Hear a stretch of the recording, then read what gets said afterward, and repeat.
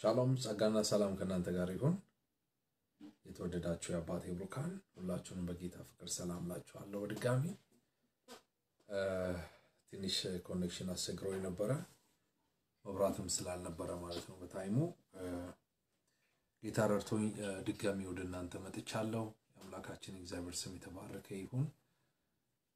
ቪዲዮውን share በማድረግ ጓደኞቻችሁን፣ ቤተሰቦቻችሁን invite እንድታደርጉ ሁላችሁንም በክርስቶስ ኢየሱስ ፍቅር በድጋሚ ጠይቃችኋለሁ። የሰማይ አምላክ እግዚአብሔር ይባርካችሁ። ዘመናችሁ የተባረከ ይሁን። ትንሣኤ ፈይሳ ጌታ ኢየሱስ ዘመናችሁን ይባርክ። ሳራ thank you ስልክ አነሳለሁ። እሺ ሳራዬ ስልክ አነሳለሁ አነሳለሁ። መልካም ጌታ ይረዳኛል። አክቹሊ ዛሬ የመጣሁትኝ ልጸልይላችሁ ነው። አብሬያችሁ ከእናንተ ጋር ልጸልይ። መንፈስ ቅዱስ እንደወደደ እግዚአብሔር መልካምና የተወደደ ጊዜ ይሰጠናል። እግዚአብሔርን ስለዚህ ጊዜና ሰዓት እጅግ አድርጌ አመሰግናለሁ። ቅድም እየሞከርኩ ነበር፣ እየታገልኩ ነበረ፣ ግን መብራት አልነበረም። ድምፅ አይሰማችሁም? ድምፅ ይሰማል? ኤቢ የተባረኩ ሰላም ሰላሚና ተባረኪ። ሳምሶን እግዚአብሔር ይባርካችሁ። ዘመናችሁ የተባረከ ይሆን። ድምፄ ይሰማል? ድምፄ ጥሩ ነው። ጸጋና ሰላም ከእናንተ ጋር ይሁን። በተለያየ ምድር ጫፍ ሆናችሁ በዚህን ሰዓት ይህን ቪዲዮ የምትከታተሉ ትውልደ ኢትዮጵያና ኤርትራውያን ጸጋና ሰላም ከእናንተ ጋር ይሁን። ትዕግስት ጠረ እንዴት ነህ? I'm good by grace of God በእግዚአብሔር ጸጋ ሰላም ነኝ። እግዚአብሔር የተባረከ ይሁን።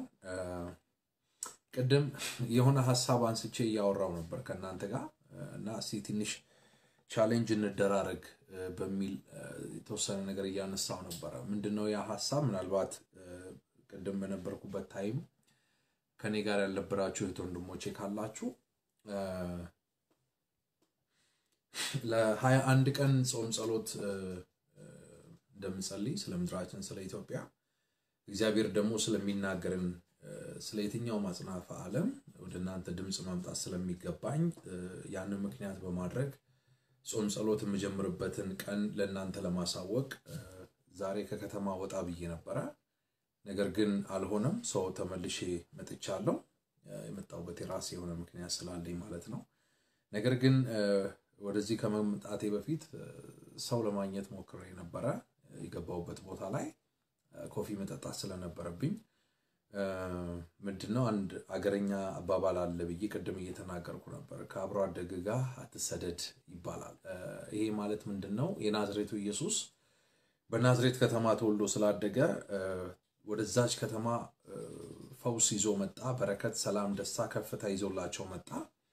ነገር ግን በዛ ከተማ የነበሩ ቤተሰቡን ጨምሮ ወንድሞቹንም ጨምሮ አብሮ አደጎቹ በሱ የሚሆነውን ነገር ከመቀበል ይልቅ ከአንደበቱ የሚወጣውን ያንን የከበረ ቃል refuse አደረጉ፣ አልተቀበሉትም።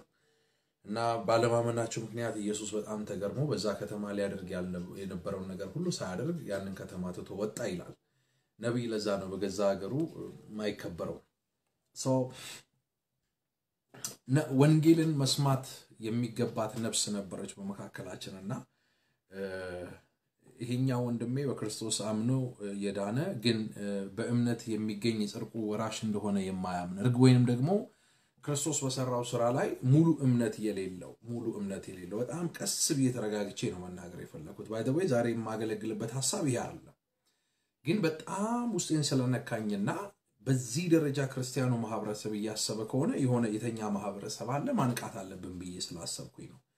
እኔ ወንድማችሁ prophet ጆሲ ብዙ ጊዜ የተለያዩ ቪዲዮዎችን ሰርቻለሁ። በጣም አነጋጋሪ የሆኑ ቪዲዮዎችን እንደምታውቁት እዚህ ቦታ ተቀምጬ ራቁቴን ከወገብ በላይ ይሄ ንቅሳቴን፣ ሰውነቴን እያንዳንዱ ነገር እያሳየኋችሁ ቪዲዮዎች ሰርቻለሁ እና እነዛን ቪዲዮዎች የሰራሁት ሆን ብዬ ነው የሰራሁት። because ከኔ የሆነ ምንም ነገር እንደሌለ እርግጠኛ እንድትሆኑ ነው።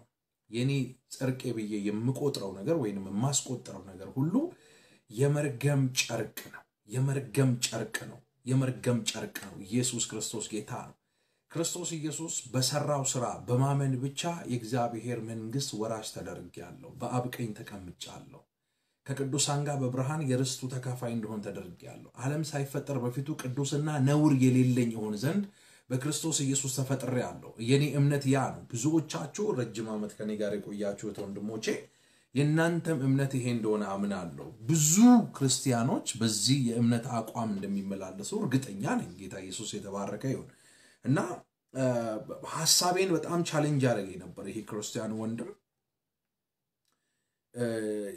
ያኛው ወንድም ኦርቶዶክስ ስለሆነ ወደ ጌታ እንዳይመጣ በእምነት የሚገኘውን የመንግስቱ ወራሽ እንዳይሆን ስራንም አንድ ላይ ስራን እየጨመረ የሆነ የምታስቆጥረው ጽድቅ ያስፈልግሃል አይነት ቋንቋ ይሄ የሃይማኖት ካባ ተላብሶ በጣም ወንጌልን ሊያደነቃቀፍብኝ ሞከረና feeling bad በጣም by the way በጣም ስለተሰማኝ ነው ይህንን ሀሳብ ወደ እናንተ ማምጣት የፈለግኩት ወደ እናንተ ማምጣት የፈለግኩት መጽሐፍ ቅዱስ እንግዲህ የዮሐንስ ወንጌልን ስታጠኑ በጣም አስደናቂ የሆነ ነገር ታገኛላችሁ። በመጀመሪያ ቃል ነበር፣ ቃልም በእግዚአብሔር ዘንድ ነበር፣ ቃል ራሱ እግዚአብሔር ነበር ይልና ይህ ቃል ጸጋንና እውነትን ተሞልቶ በእኛ ውስጥ አደረ ይላል። እንግዲህ ይሄ ቃል የሆነው በስጋ የተገለጠው ክርስቶስ ኢየሱስ ወደ ገዛ ወገኖቹ መጣ። ነገር ግን የገዛ ወገኖቹ አልተቀበሉትም፣ refuse አደረጉት። ፈሪሳውያን፣ ሰዱቃውያን፣ እነዚህ ጸሐፍት የሚባሉ ተመራማሪዎች፣ አዋቂ ነን የሚባሉ በጣም በሕግ ስርዓት በተለይ እያንዳንዱ አይሁድ ከእስራኤል ሀገር የሚደውሉልኝ ትውልደ ኢትዮጵያውያን የዛ እስራኤል ዜግነት ያላቸው እህት ወንድሞች ያሉና ያው በእነሱ ታውቃላችሁ ሰንበት ቅዳሜ ነው እና ቅዳሜን እንዴት አድርገው seriously እንደሚያከብሩት ታውቃላችሁ። በጣም serious ናቸው። በቃ በሰንበት ቀን በቅዳሜ ቀን ያ ታላቁ ቀን ስለሆነ ለነሱ በቃ ቅጠል መበጠስ፣ እንስሳ ይዞ ወደ ወንዝ መውረድ የማይታሰብ ነው። የቆመ መቀመጥ አይችልም፣ የተቀመጠ መቆም። በጣም ስትሪክት ናቸው እና በደብረ ሲና ተራራ ላይ ወይም በሲና ተራራ ላይ እግዚአብሔር በዘጸአት ምዕራፍ 32 እና 33 ላይ እግዚአብሔር ክብሩን ገልጦ ከአርባ ቀን ቆይታ በኋላ አስርቱን ትእዛዛት ለባሪያው ለሙሴ ሰጥቷል። ያንን ሕግ ይዞ መጥቶ ከአስርቱ ትእዛዛት ውጪ ደግሞ 623 አንቀጾች አሉ። በጣም ስትሪክት ነው ሕጉ እና የሕግ ሁሉ ፍጻሜ የሆነው ክርስቶስ ኢየሱስ ሆኖ ሳለ ነገር ግን እነዚህ ዕብራውያን፣ እነዚህ አይሁዳውያን፣ እነዚህ ጸሐፍቶች፣ እነዚህ ፈሪሳውያንና ሰዱቃውያን ይህንንም በማድረግ ባይደዌ የገላትያ ትልቁ ቤተክርስቲያን ትልቁ ሸክም ወይም ትልቁ እንቅፋት የነበረው በማመን ብቻ የሚገኘው የጽድቅ ወራሽ መሆን ተገቢ አይደለም፣ ግርዛትም ያስፈልጋል ብለው እንዲህ አይነት እጅግ በጣም የረከሰና ቆሻሻ የሆነ የክርስቶስ ኢየሱስ በቀራኔው መስቀል ላይ የሰራውን ያንን የቤዛነት ታላቅ ተጋድሎ ያንን ትልቅ ምስጢር የሚያራክስ አስተምሮ በገላትያ ቤተ ክርስቲያን ሾልኮ ገብቶ ነበር እና ጳውሎስ እንደው እንደምታውቁት ጴጥሮስን አእማድ የሆነውን ከበጎ ሐዋርያት የመጀመሪያ የነበረውን ሁሉ ፊት ለፊት እንዴት አድርገው ሲወቅሰው እንደነበረ ታስታውሳላችሁ። ጌታ ኢየሱስ የተባረከ ይሁን። እዛው ክፍል ላይ ነው እኛ ከሰበክንላችሁ ወንጌል ውጪ ሌላ የተለየ ወንጌል የሚሰብክላችሁ ቢኖር የተረገመ ይሁን የሚለው የተረገመ ይሁን።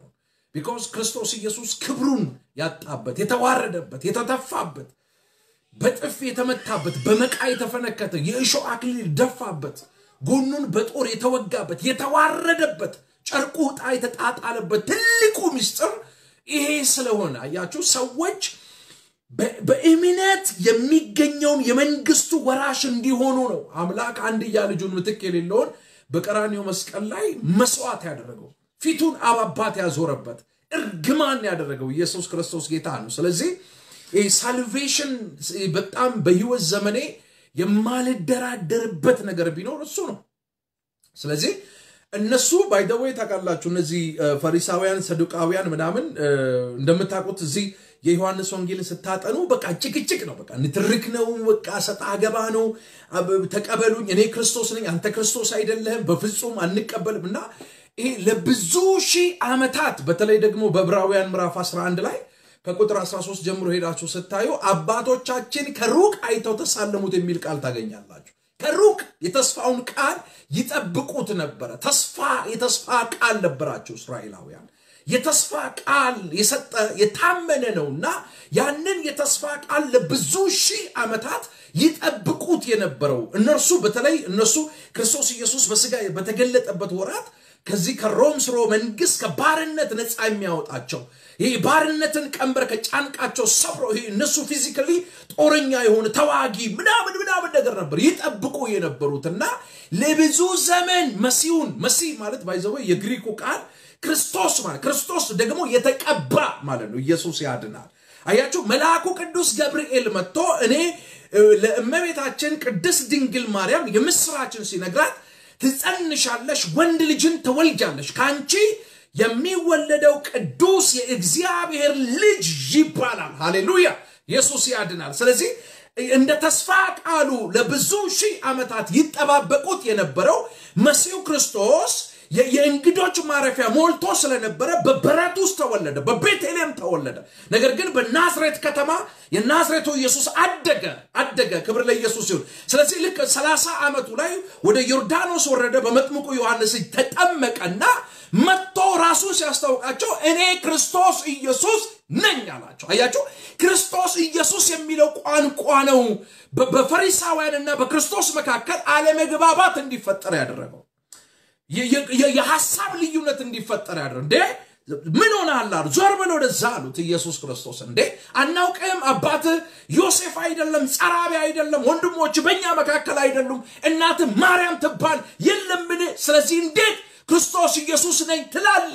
አያችሁ፣ ለብዙ ሺህ ዓመታት መሲሁን ክርስቶስ የተባለውን የተቀባውን ይጠባበቁ ስለነበረ ድንገት እነሱ ባላሰቡት ወራትና ዓመታት መጽሐፍትን እያገላበጡ እየመረመሩ እየጠበቁ እያለ ድንገት ብቅ አለ በምኩራቦቻቸውና እናንተ ትጠባበቁት የነበረው ክርስቶስ ኢየሱስ እኔ ነኝ አላቸው። ሃዳን ያለው ሳካባያ ሬላ ሶኮቦ ሺብራን ያለው ሳካባራቦያ ታውቃላችሁ። ይሄ ክርስቶስ የሚለው ቃል በአዲስ ኪዳን ያለ ሳይሆን በብሉይ ኪዳን ያለ ቃል ይህንን ማረጋገጥ የምትፈልጉ ሰዎች ካላችሁ መዝሙረ ዳዊት ምዕራፍ ሁለት ቁጥር ሁለትን ማየት ትችላላችሁ። መዝሙረ ዳዊት ላይ ታገኙታለ። መሲህ የሚለው ወይንም ደግሞ በዮሐንስ ወንጌል ምዕራፍ አንድ ቁጥር አርባ አራት ላይ ፊልጶስ ናትናኤልን ባገኘው ጊዜ ናትናኤልን እንደዚህ አለው፣ ነቢያቶች በትንቢተ ስፒሪት እነ ሙሴ በሕግ የጻፉለትን የናዝሬቱ ኢየሱስን አግኝተነዋል። አግኝት ለዚህ ነው ኢየሱስ ከበለስ በታች ማሃዶሮ ለሃባን ያለው ሳካባራ ቦይ ከበለስ በታች ሳላየው ይለዋል። ከበለሲቱ በታች ባይተወይ ዕብራውያን በዓመት አንድ ጊዜ ለኃጢአት ስርየት እንዲሆንላቸው ወደ መቅደስ የመግባትና የኃጢአት ስርየትን የማድረግ ልማድ አላቸው። በዘሌዋውያን 16 16 ላይ ሄዳችሁ እግዚአብሔርን ቃል ማጥናት ትችላላችሁ።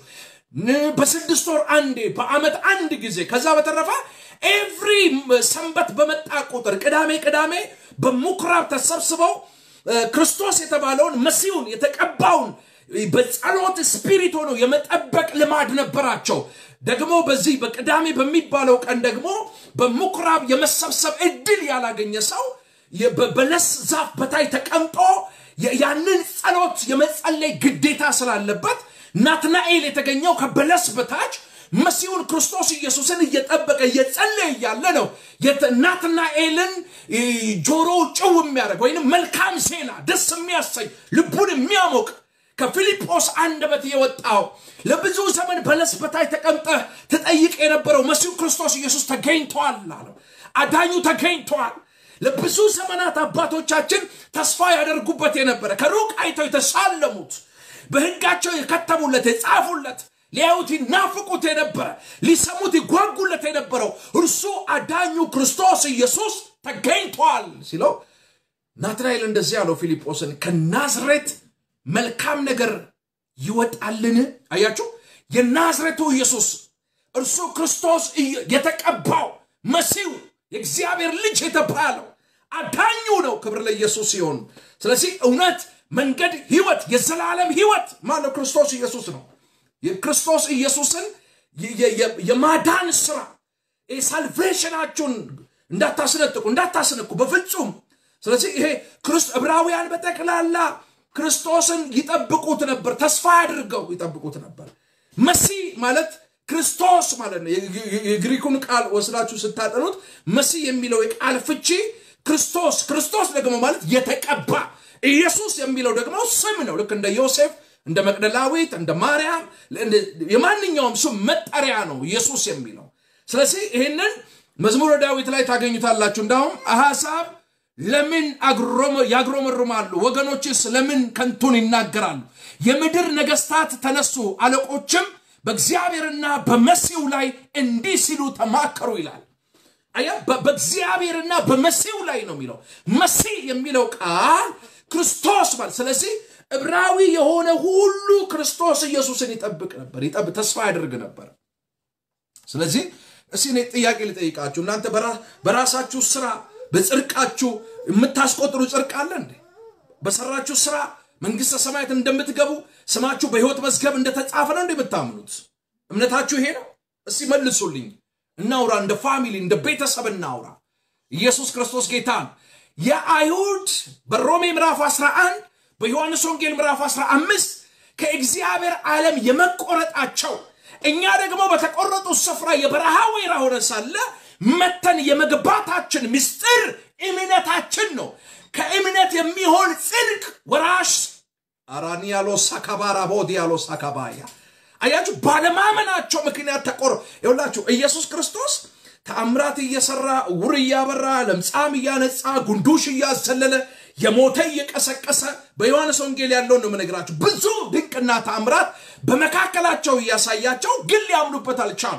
ለምን? እኔ ክርስቶስ ነኝ ስላላቸው በፍጹም ዞር በል አሉት። እንዴ እናውቃለን አሉት። ከስር መሰረት እናውቃለን።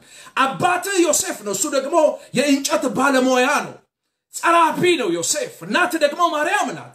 ወንድሞች ደግሞ በእኛ መካከል በፍጹም እና ይሄ ክርክር ነው። እየጨመረ እየጋለ እየጋለ በመካከላቸው አለመግባባት እየተፈጠረ እናንተ ልትገሉን ትፈልጋላችሁ። የአባታችሁን የዳቢሎስን አይ ሆዳም ትውልድ ይከተላል ይበተናል። እንዲህ አይነት dialogue እያደረጉ finally አምነን እንከተል ዘንድ ምን ምልክት ታሳየናል አሉት።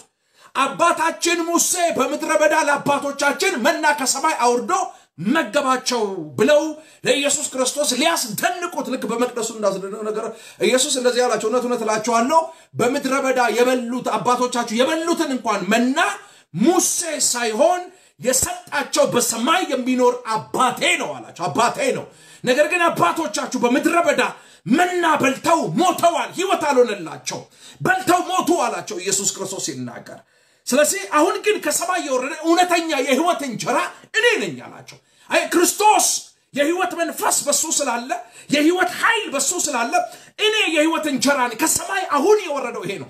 ይሄን ስጋ ያልበላ ደሜን ያልጠጣ በራሱ የዘላለም ህይወት የለውም። by the way እንዴት እንደተቆረጡ ላሳያችሁ ይሄ dialogue እየቀጠለ ሄደና ዮሐንስ ወንጌል ምዕራፍ 15 ላይ በቃ እኛ በራሳችን መቆም እንችላለን አሉ ህጉን በመጠበቅ ይሄ በደብረ ሲና ተራራ ላይ የወረደውን አስርቱን ትእዛዝ አትግድል፣ አትስረቅ፣ አታመንዝር፣ የባልንጀራ ሎሌውን ገረዱን ከብብቱ በታች የሚያድረው ማናቸውንም ነገር አትመኝ የሚለውን እንደገና ደግሞ 623 አንቀጾችን ጨምሮ ይሄን ነገር በማድረግ የእግዚአብሔር መንግስት መውረስ እንችላለን በሚል እብሪት እግዚአብሔር በማይከብርበት የህይወት ስርዓት ውስጥ ተጠላልፈው ከእግዚአብሔር ሀሳብ ጎደሉ እና ኢየሱስ ክርስቶስን accept ሊያደርጉት አልቻሉም። መጨረሻ ላይ ኢየሱስ እንደዚህ አላቸው። እንግዲያውስ እንደዚህ ከሆነ እኔ አንድ ነገር ልንገራችሁ አላቸው። እኔ የወይን ግንድ ነኝ አላቸው። የወይን ግንድ ነኝ።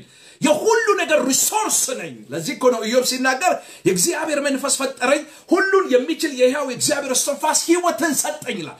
የህይወት መንፈስ የህይወት መንፈስ የምንም ነገር resource ምንጭ አባት የሆነው ክርስቶስ ኢየሱስ ነው። ስለዚህ እናንተ እኮ አላቸው ቅርንጫፍ ናችሁ አላቸው። ቅርንጫፉ በግንዱ ካልሆነ በስተቀር በራሱ exist ማድረግ አይችልም። በራሱ ፍሬ ማፍራት አይችልም። በራሱ ህይወት ሊሰጥ አይችልም። በራሱ ብቁ መሆን አይችልም አይችልም በፍጹም። ምክንያቱም አሁን እነሱ ቅርንጫፍ ሆነው ግንዱን manage ማድረግ ፈለጉ ግንዱን ማዘዝ ፈለጉ ስለዚህ አባቴ ደግሞ ገበሬ ነው አላቸው ገበሬው አባቴ ነው አላቸው በእኔ ያለው አብዝቶ ፍሬ እንዲያፈራ የሚገረዝ ወገን አለ። ደግሞ በእኔ የሆነ ፍሬ የማያፈራ ደግሞ የሚቆረጥ አለ። ተወደ ወደማይጠፋ ወደ ሳት ባህር የሚጣል ደግሞ አለ አላቸው ኢየሱስ ክርስቶስ። ስለዚህ እውነተኛ የወይን ግንድ እኔ ነኝ። እናንተ ግን ቅርንጫፍ ናችሁ። ፍሬ ማፍራት የምትፈልጉ ከሆነ ከግንዱ ጋር ልትስማሙ ህብረት ልታደርጉ ያስፈልጋችኋል። በራሳችሁ ብቁ አይደላችሁ የእናንተ ጽድቅ የመርገም ጨርቅ ነው። እንደዚያማ ከሆነ ክርስቶስ ኢየሱስ መሞት ባላስፈለገው ነበረ መሞት ባላስፈለገው ነበረ።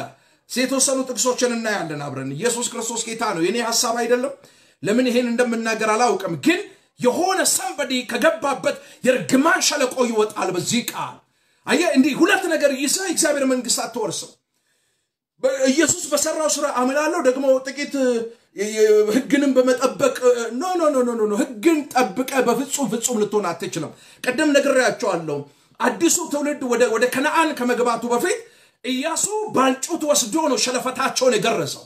አያችሁ በጣም painful ነው። ሸለፈታቸውን ከገረዘና ካስወገደ በኋላ የመለኮት ድምፅ ወደ ኢያሱ ሲመጣ የግብፅን ነውር ነውር ነውር ይሄን ቃል በጣም አስምሩበት። የግብፅን ነውር ዛሬ ከእናንተ ላይ አንከባልያለሁና ይህ ስፍራ ጌልጌላ ይባላል አላቸው። አያችሁ የግብፅ ነውር ምንድን? የግብፅ ነውር እንደውም ሲ ገላትያ መጽሐፍን በጣም በጥንቃቄና በማስተዋል ስታነቡ ስለ አጋር ወይንም ደግሞ ስለ ባራይቱ ልጆች ለባርነት ስለሚወለዱት ልጆች እና ስለ ጨዋይቱ ልጆች ያወራል እና ሁለቱ እንደ ሁለቱ ኪዳኖች ናቸው የሚል ቃል ታገኛላቸው። እንደ ሁለቱ ኪዳን ናቸው እነዚህ ምሳሌዎች። ስለዚህ እግዚአብሔር ይሄ እንደ ስጋ ፈቃድ ነው እስማኤል የተወለደው። እንደ እግዚአብሔር እንደ ተስፋ ቃሉ ደግሞ የተወለደው ይስሐቅ ነው። ስለዚህ ይስሐቅ እያለ እስማኤል አይወርስም አይወርስም በምንም አይነት ተአምር ህግን እየጠበቁ በህግ ስርዓት እየተመላለሱ የእግዚአብሔር መንግስት መውረስ ፈጽሞ የማ impossible ማይቻል ነገር ነው። አይቻልም፣ በፍጹም ነው ማይቻል። ስለዚህ የገላትያ ጻፊ ሐዋርያ ቅዱስ ጳውሎስ በክርስቶስ ኢየሱስ ሞትና ትንሣኤ አምነው ለዳኑ የምስራቹን ወንጌል ለተቀበሉ የልባቸውን በር ለከፈቱ ጳውሎስን እንደ ወንጌል አገልጋይ ለተቀበሉ አይናቸውን አውጥተው እንኳን እስከ መስጠት ድረስ አምነው ተቀብለውት የነበሩ ሰዎችን የጴጥሮስ የግርዛት አስተምሮ ሾልኮ በቤተ ክርስቲያን ገብቶ የቤተ ክርስቲያኑን አእማድ የሆኑትን መሪ የሚባሉትን አማኞችን ለሁለት ሲሰነጥቅ ታያላችሁ። አያችሁ፣ ሁል ጊዜ ህግ ገዳይ ነው። አይጮ ህግ ለዚህ ነው ክርስቶስ የህግ ሁሉ ምንድን ፍጻሜ ነው። የሮሜ ምዕራፍ አስር ላይ ሲናገር የህግ ሁሉ ፍጻሜ ሌላ ክርስቶስ ኢየሱስ ህግን ሁሉ ፈጽሞታል። it's done ለዚህ ነው መስቀል ላይ ተፈጸመ ያለው። ኢየሱስ በሰራው ባለቀ በተፈጸመ የህይወት ስርዓት መመላለስ በህይወት ቁመና መገለጥ ትልቅ ጥበብ ነው። ከኔና ከእናንተ የሚሆን አንዳች ነገር የለም። አንተ ሰርተህ ኢየሱስ አጉድሎት አንተ ሰርተህ የምትሞላው ነገር የለም፣ ምንም ነገር የለም። ብዙ ሰዎች ለዚህ ነው የቤተ ክርስቲያን አባል ናቸው፣ በእግዚአብሔር ዓለም ግን የተቆረጡ ናቸው። የተቆረጡ ናቸው፣ በእግዚአብሔር ዓለም የማይታወቁ ናቸው። ስለዚህ እግዚአብሔር አንድያ ልጁ ምትክ የሌለው መስዋዕት አድርጎልኛል። ክርስቶስ በሰራው ጽድቅ እኔ ጽድቅ ሆኛለሁ። እሱ በሰራው ስራ ኧረ ኢየሱስ ያድናል። ክብር ለኢየሱስ ይሁን፣ ክብር ለመንፈስ ቅዱስ ይሁን። ጽድቃችን የመርገም ጨርቅ ስለሆነ የእኛ ጽድቅ የምን የመርገም ጨርቅ ስለሆነ አይሁዳውያን የተቆረጡት ከእግዚአብሔር ክብር የመጉደላቸው ምስጢሩ ይሄ ነው። ሌላ ምንም ምስጢሩ የለውም። ይሄ ነው ምስጢሩ። በራሳቸው ሙሉ እንደሆኑ አሰቡ። ተቃለ ግንዱ አለ፣ ቅርንጫፉ አለ። ግንዱ ከስሩ ጋር connect አድርጎ ማዕድናትና ከከርሰ ምድር ውሃ suck እያደረገ ለቅርንጫፉ ሁሉ የሚሰጥ ግንዱ ነው። ቅርንጫፉ ያለ ግንዱ ምንም ነው፣ ምንም ነው። አንተ ምንም፣ ሁላችን ምንም ነን። ስለዚህ እቺን ሀሳብ እንድታሰምሩልኝ እፈልጋለሁ። ለዚህ ነው እያንዳንዱ ነገር በህይወታችን ፍሬ አላፈራ ካለ ውጤት አልባ ከሆንን ጸልየን መልስ የማይመጣ ከሆነ ነገሮቻችን ላይ ጭንገፋ ካለ ኪሳራ ካለ ጨለማ ካለ ሀዘን ካለ አለመሳካት ካለ already check አርጉ ህይወታችሁን ከግንዱ ጋር ነው ወይ ነው? ከግንዱ ጋር ነው ወይ no no እኔ ከግንዱ ተለይቼ በራሴ ፍሬ ማፍራት እችላለሁ፣ እኔ በራሴ መቆም እችላለሁ። እንዲህ ይሄ የ witchcraft spirit ነው፣ የኒቆላውያን አስተምህሮም ጭምር ነው ይሄ። ስለዚህ ያለ ግንዱ እኛ በራሳችን ብቁ አይደለንም። ግንዱ ክርስቶስ ኢየሱስ ነው፣ ገበሬው አባቱ ነው። ስለዚህ ከግንዱ የሚገኘውን የትኛውንም resource suck እያደረግን እየተቀበልን ፍሬ እንድናፈራ በሀሩር ለሚቃጠሉ ጥላ እንድንሆን ለተራቡ ደግሞ ፍሬ በመስጠት እንድናጠግብ ክርስቶስ ኢየሱስ ከጨለማ ወደ ብርሃን ከሞት ወደ ህይወት ከፍርድ ወደ ሰላም ህይወት ጠርቶናል። ይህንን በደንብ understand ማድረግ አለበት። በእውቀት ክርስቶስ ኢየሱስ መመለክ አለበት። በእውቀት በእውቀት በእውቀት መመለክ መቻል አለበት እና ይሄ ገላትያ መጽሐፍን በተለይ በጣም በማስተዋል ስታጠኑ ስለ ሁለቱ ሴቶች ይናገራል። ስለ ሁለቱ secret ነገር ነው የሚናገረው እና የብሉይ ኪዳንና የአዲስ ኪዳን ምሳሌ ናቸው። ያቺ እንደ ስጋ ፈቃድ የተወለደው እስማኤልን ያዙና የእሱ እናት አጋር ናት። እቺ አጋር የምትባል ሴት ልጆችን ሁሉ የምትወልደው ለምንድን ነው ይላል? ለባርነት ነው ይላል። ለባርነት ነው የምትወልደው ይላል። ስለዚህ እኛ ለባርነት አልተጠራንም። በክርስቶስ ኢየሱስ አምኖ የዳነ ሰው ማንም በክርስቶስ ቢሆን አዲስ ፍጥረት ስለሆነ ክርስቶስ ኢየሱስ ከዚህ ከባርነት መንፈስ already ነፃ አውጥቶታል። ለዚህ ነው ዳግመኛ በባርነት ቀንበር አትያዙ የሚለው እግዚአብሔር ቃል። ዳግመኛ በባርነት ቀንበር አትያዙ። ኢየሱስ ክርስቶስ ጌታ እስቲ መጽሐፍ ቅዱሳችንን እንክፈትና አንድ ሁለት ጥቅሶችን እንመልከት። እኔ ከዛ ለእናንተ ልጸልይላችሁ። ሳሮሺ ካቫኒያሎ ሳካባራ ቦያ ኢየሱስ ክርስቶስ ጌታ ነው። ክብር ለኢየሱስ ይሁን። እንዴት አባቶች እንዴት ከእግዚአብሔር ክብር እንደጎደሉ ማወቅ ከፈልጋችሁ የሮሜ መጽሐፍን ምዕራፍ 11 ሄዳችሁ አጥኑ እና ባለማመናቸው ምክንያት ነው የተቆረጡት ይላል ጳውሎስ ሲናገር። እኛ ደግሞ የበረሃ ወይራዎች ነበር ባይዘዌ ከዚህ ከተስፋ ቃሉ ርቀን የተስፋ ቃል የሌለን ምን at least እነዚህ እኮ አባቶች የተስፋ እንኳን ቃል ነበራቸው። አያችሁ እስራኤል ለእግዚአብሔር በኩር ነው፣ የአይኑ ብሌን ነው። እስራኤል መሲህ ወይንም ክርስቶስ እንደሚመጣ የተስፋ ቃል የተሰጠው ህዝብ ነው፣ ህዝብ ነው፣ ወገን ነው። እኛ ደግሞ እኔና እናንተ ደግሞ ከፍጥረታችን ራሱ የቁጣ ልጆች ነን። በፍርድ ውስጥ የነበርን ሰዎች ነን። አምላክ ምን እንደሆነ የማናቅ ለዚህ በቃ የሆነ ነገር ስናይ worship ምና ለዚህ እኮ ነው ሀያቶቻችን ቅድመ የአሩሲያ እመቤት ጨሌ፣ አመቺሳ፣ አዳልሞቲ፣ ወሰንጋላ እያልኩ ማስተምራችሁ አያቶቻችን ይህንን የተስፋ ቃል አያውቁትም። ሁሉም በስርዓትና በጨለማ ውስጥ ናቸው። at least ዕብራውያን የቃል ኪዳን ህዝብ ግን መሲህ እንደሚመጣ መሲህ እንደሚወለድ ከእሰይ ግንድ በትር ይወጣል ተብሎ የትንቢት ቃል ተሰጥቷቸው እነ ድንግል ትወርዳለች ተብሎ ከሰባት መቶ ዓመት በፊት እነ ኢሳያስ ትንቢት ተናግረዋል። እነ ኤርሚያስ እነ ኢሳያስ ከእሰይ ግንድ በትር እንደሚወጣ አስቀድመው በትንቢት መንፈስ ተናግረዋል። ስለ መሲሁ ሰምተዋል። ስለ መሲሁ በደንብ ግንዛቤ ያላቸው እውቀታ። እኛ ግን ምንም ከፍጥረታችን የቁጣ ልጆች ነን። ስለዚህ ባይተወይ ታውቃላችሁ፣ ኧረ ተቀበሉኝ እኔ ክርስቶስ ኢየሱስ ነው ክርስቶስ። ይሄ dialogue እየከረረ ከመጣ በኋላ ኢየሱስ ክርስቶስ እንደምታውቁት በቀራኔው መስቀል ላይ የዓለም ቤዛ መሆን ነበረበት። ሰዓቱ ሲደርስ ራሱን አሳልፎ ሰጠ ለሞት፣ ሞተ፣ ተቀበረ። በሶስተኛው ቀን ከሙታን ከተነሳ በኋላ ለደቀ መዛሙርቶቹ እንደዚህ አላቸው። በጣም የምወደውን ቃል ልንገራቸው። እንደዚህ አላቸው፣ ሂዱ በቃ ወደ ገዛ ወገኖቼ መጥቻለሁ። የገዛ ወገኖቼ ሊቀበሉ ፈቃደኛ ስላልሆነው አሁን ሂዱ፣ ወንጌልን ለፍጥረት ሁሉ ስበኩ፣ በአብ በወልድ በመንፈስ ቅዱስ በአንድ አምላክ ስም እያጠመቃችኋቸው ደቀ መዛሙርት አድርጓቸው አድርጓቸው። ለዚህ ነው በክርስቶስ ኢየሱስ እሱ በሰራው ስራ ያመኑ ሰዎች ከአይሁድ ከዕብራውያን ይልቅ እንደበዙ እልፍ እንደሆኑ መጽሐፍ ቅዱስ ይናገራል። ክብር ለመንፈስ ቅዱስ ይሆን። ስለዚህ ከፍጥረታቸው የተስፋ ቃል እያላቸው ነገር ግን በእምነት የሚገኘውን የመንግስቱ ወራሽ ከመሆን ይልቅ የህግን ስራ በማድረግ በመፈጸም አድርግ አታድርግ በሚለው ስርዓት ውስጥ በመግባት ባይተው በጣም ወገኞች ናቸው። ማቴዎስ ወንጌል ምዕራፍ 13 23 ማጥናት በቂ ነው ልናት የመጨረሻ እንደ ዕብራዊ ወገኛ እንደ ፈሪሳዊ እንደ ሰዱቃውያን እንደ ጸሐፍት በተለይ እንደ ፈሪሳውያን ወገኛ ማህበረሰብ አታገኙ። በቃ በጣም በህይወት ዘመን የምገረምባቸው ጺማቸውን አስረዝመው ዘርፋፋ ቀሚስ፣ ነጫጭ ቀሚስ ለብሰው እነሱ አይገቡ፣ ሌላውን አያስገቡ፣ አንድ ነፍስ ለማጥመድ በባህር ዳር የሚሽከረከሩ መቃብሮቻቸውን በኖራ የሚለስኑ አንድ ው መሰላከያ ከምትሆኑ ይልቅ የወፍጮ መጅ በአንገታችሁ ታስሮ ወደ ጥልቅ ባህር ብትጣሉ ይሻላቸዋል ይላል መጽሐፍ ቅዱስ። because በመጨረሻው ዘመን ከነሱ ይልቅ የእናንተ ፍርድ እጥፍ ድርብ ይሆናልና ለመጽሐፍ ቅዱስ ሲናገር የኢየሱስ ክርስቶስን የማዳን ስራ ማራከስ፣ ደሙን ማራከስ፣ ሞቱን፣ ትንሣኤውን ማራከስ እኛን ስለ እኮ ነው ክርስቶስ ከሙታን የተነሳው። ከኢየሱስ ጋር ነው አብረ በትንሣኤው መንፈስ የተነሳው። እህቴ አብረሽ የተነሳሹ ከክርስቶስ ኢየሱስ ጋር። ስለዚህ ወደ እግዚአብሔር መንግስት ለአንድና ለመጨረሻ ጊዜ ወደ ቅድስተ ቅዱሳኑ ገባ ይላል በደሙ በደሙ በክርስቶስ ደም በኮርማ በፍየሎች በዋነሶች ደም አይደለም። ደም ሳይፈስ ስርየት የለም። ኢየሱስ ደሙን አፍስሷል፣ ዋጋ ከፍሏል፣ ተሰቃይቷል፣ ተወግቷል። የመጨረሻውን ምጥ አምጠዋል። የደም ላብ አልቦታል። ቀላል እንዳይመስለው ወዳጄ። ይህንን ነገር ሪፊዩዝ ማድረግ አልቀበልም ማለት እግዚአብሔር ባዘጋጀው የማዳን ስራ ላይ እንቅፋትና ማሰናከያ መሆን ማለት ነው። እጅግ በጣም ልትጠነቀቁ ይገባል። እኔ ከዛ ወንድሜ ጋር ካደረግኩት dialogue በኋላ ነው ይህን ሁሉ ነገር አውጥቼ እስቲ at least እስቲ ከወገኖቼ ጋር ላውራበት እስቲ እግዚአብሔር ቃል ምን ይላል ብዬ ነው ወደ እናንተ ያመጣሁት። የሮሜ ጸሐፊ ምዕራፍ 10 ላይ እግዚአብሔርን ቃል ይሁ የእግዚአብሔር ጽድቅ ሳያውቁ የራሳቸውን ጽድቅ ሊያቆሙ የሚል ቃል ታገኛላችሁ። ሮሜ ምዕራፍ 10 ቁጥር 3 ላይ የእግዚአብሔርን ጽድቅ ሳያውቁ የራሳቸውን ጽድቅ ሊያቆሙ ሲፈልጉ ለእግዚአብሔር ጽድቅ አልተገዙም። ለእግዚአብሔር ምን ጽድቅ አልተገዙም ይላል እግዚአብሔር ቃል ሲናገር። ለእግዚአብሔር ምን ጽድቅ አልተገዙም።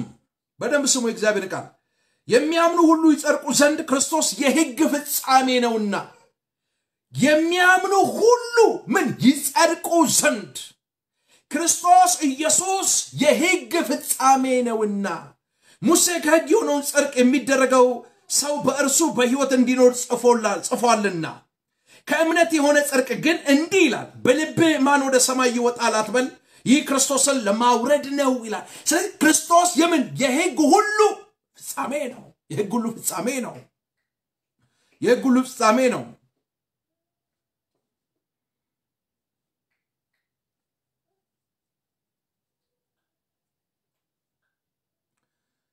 ሮሜ ምዕራፍ ዘጠኝ ቁጥር 30 እግዚአብሔር ቃል እንደዚህ ይላል፣ እንግዲህ ምን እንላለን? ጽድቅን የተከተሉት አሕዛብ ጽድቅን አገኙ፣ እርሱ ግን ከእምነት የሆነ ጽድቅ ነው ይላል። እኛ አሕዛቦች ሮሜ ምዕራፍ 9 ቁጥር 30 ፖስት አድርጉልኝ ቅዱሳን፣ ዘመናችሁ ይባረክ። በቃ እኔ ዝም ብዬ ስልኬ ላይ ነው screenshot shot አድርጌ ማለት በቃ በውስጥ የማቃቸው በተለይ ደግሞ እስር ቤት ውስጥ ሆኜ መንፈስ ቅዱስ እጅግ በጣም ያስተምረኝ ነበር እዚህ salvation ላይ miss እንዳላረግ ምክንያቱም እግዚአብሔር ካዘጋጀው የማዳን መንገድ እንዳልጎድል በእኔ ስራ እንደማልጸድቅ የእኔ ጽድቅ የመርገም ጨርቅ እንደሆነ ክርስቶስ በሰራው ስራ ብቻ መጽደቅ እንደሚቻል የዛሬ ከስምንት ዓመት በፊት prison ሁለት ዓመት እስር ቤት ውስጥ በነበርኩበት ሰዓት መንፈስ ቅዱስ በማስተዋል አስተምሮኛል። ይህንን እውነት ነው ወደ እናንተ ይዤ የመጣው። ስለዚህ እኛ ሁላችን ሜሮን እየህቴ ዘመንሽ ይባረክ። እኛ ሁላችንም የጸደቅነው ክርስቶስ በሰራው ስራ ነው። ስለዚህ ጌታ ጸባዖት ዘር ባላስቀረልን እንደ ሰዶም በሆንን ገሞራንን በመሰለን ነበር ተብሎ ብሎ አስቀድሞ ተናገር። እንግዲህ ምን እንላለን? ጽድቅን ያልተከተሉት አሕዛብ ጽድቅን አገኙ፣ እርሱ ግን ከእምነት የሆነ ጽድቅ ነው ይላል። አይገርም? በስራ የሚሆን ጽድቅ የለም። ተራራ ወጥተ የምታመጣው ጽድቅ የለም። ሸለቆ ወርደ የምታመጣው ጽድቅ የለም።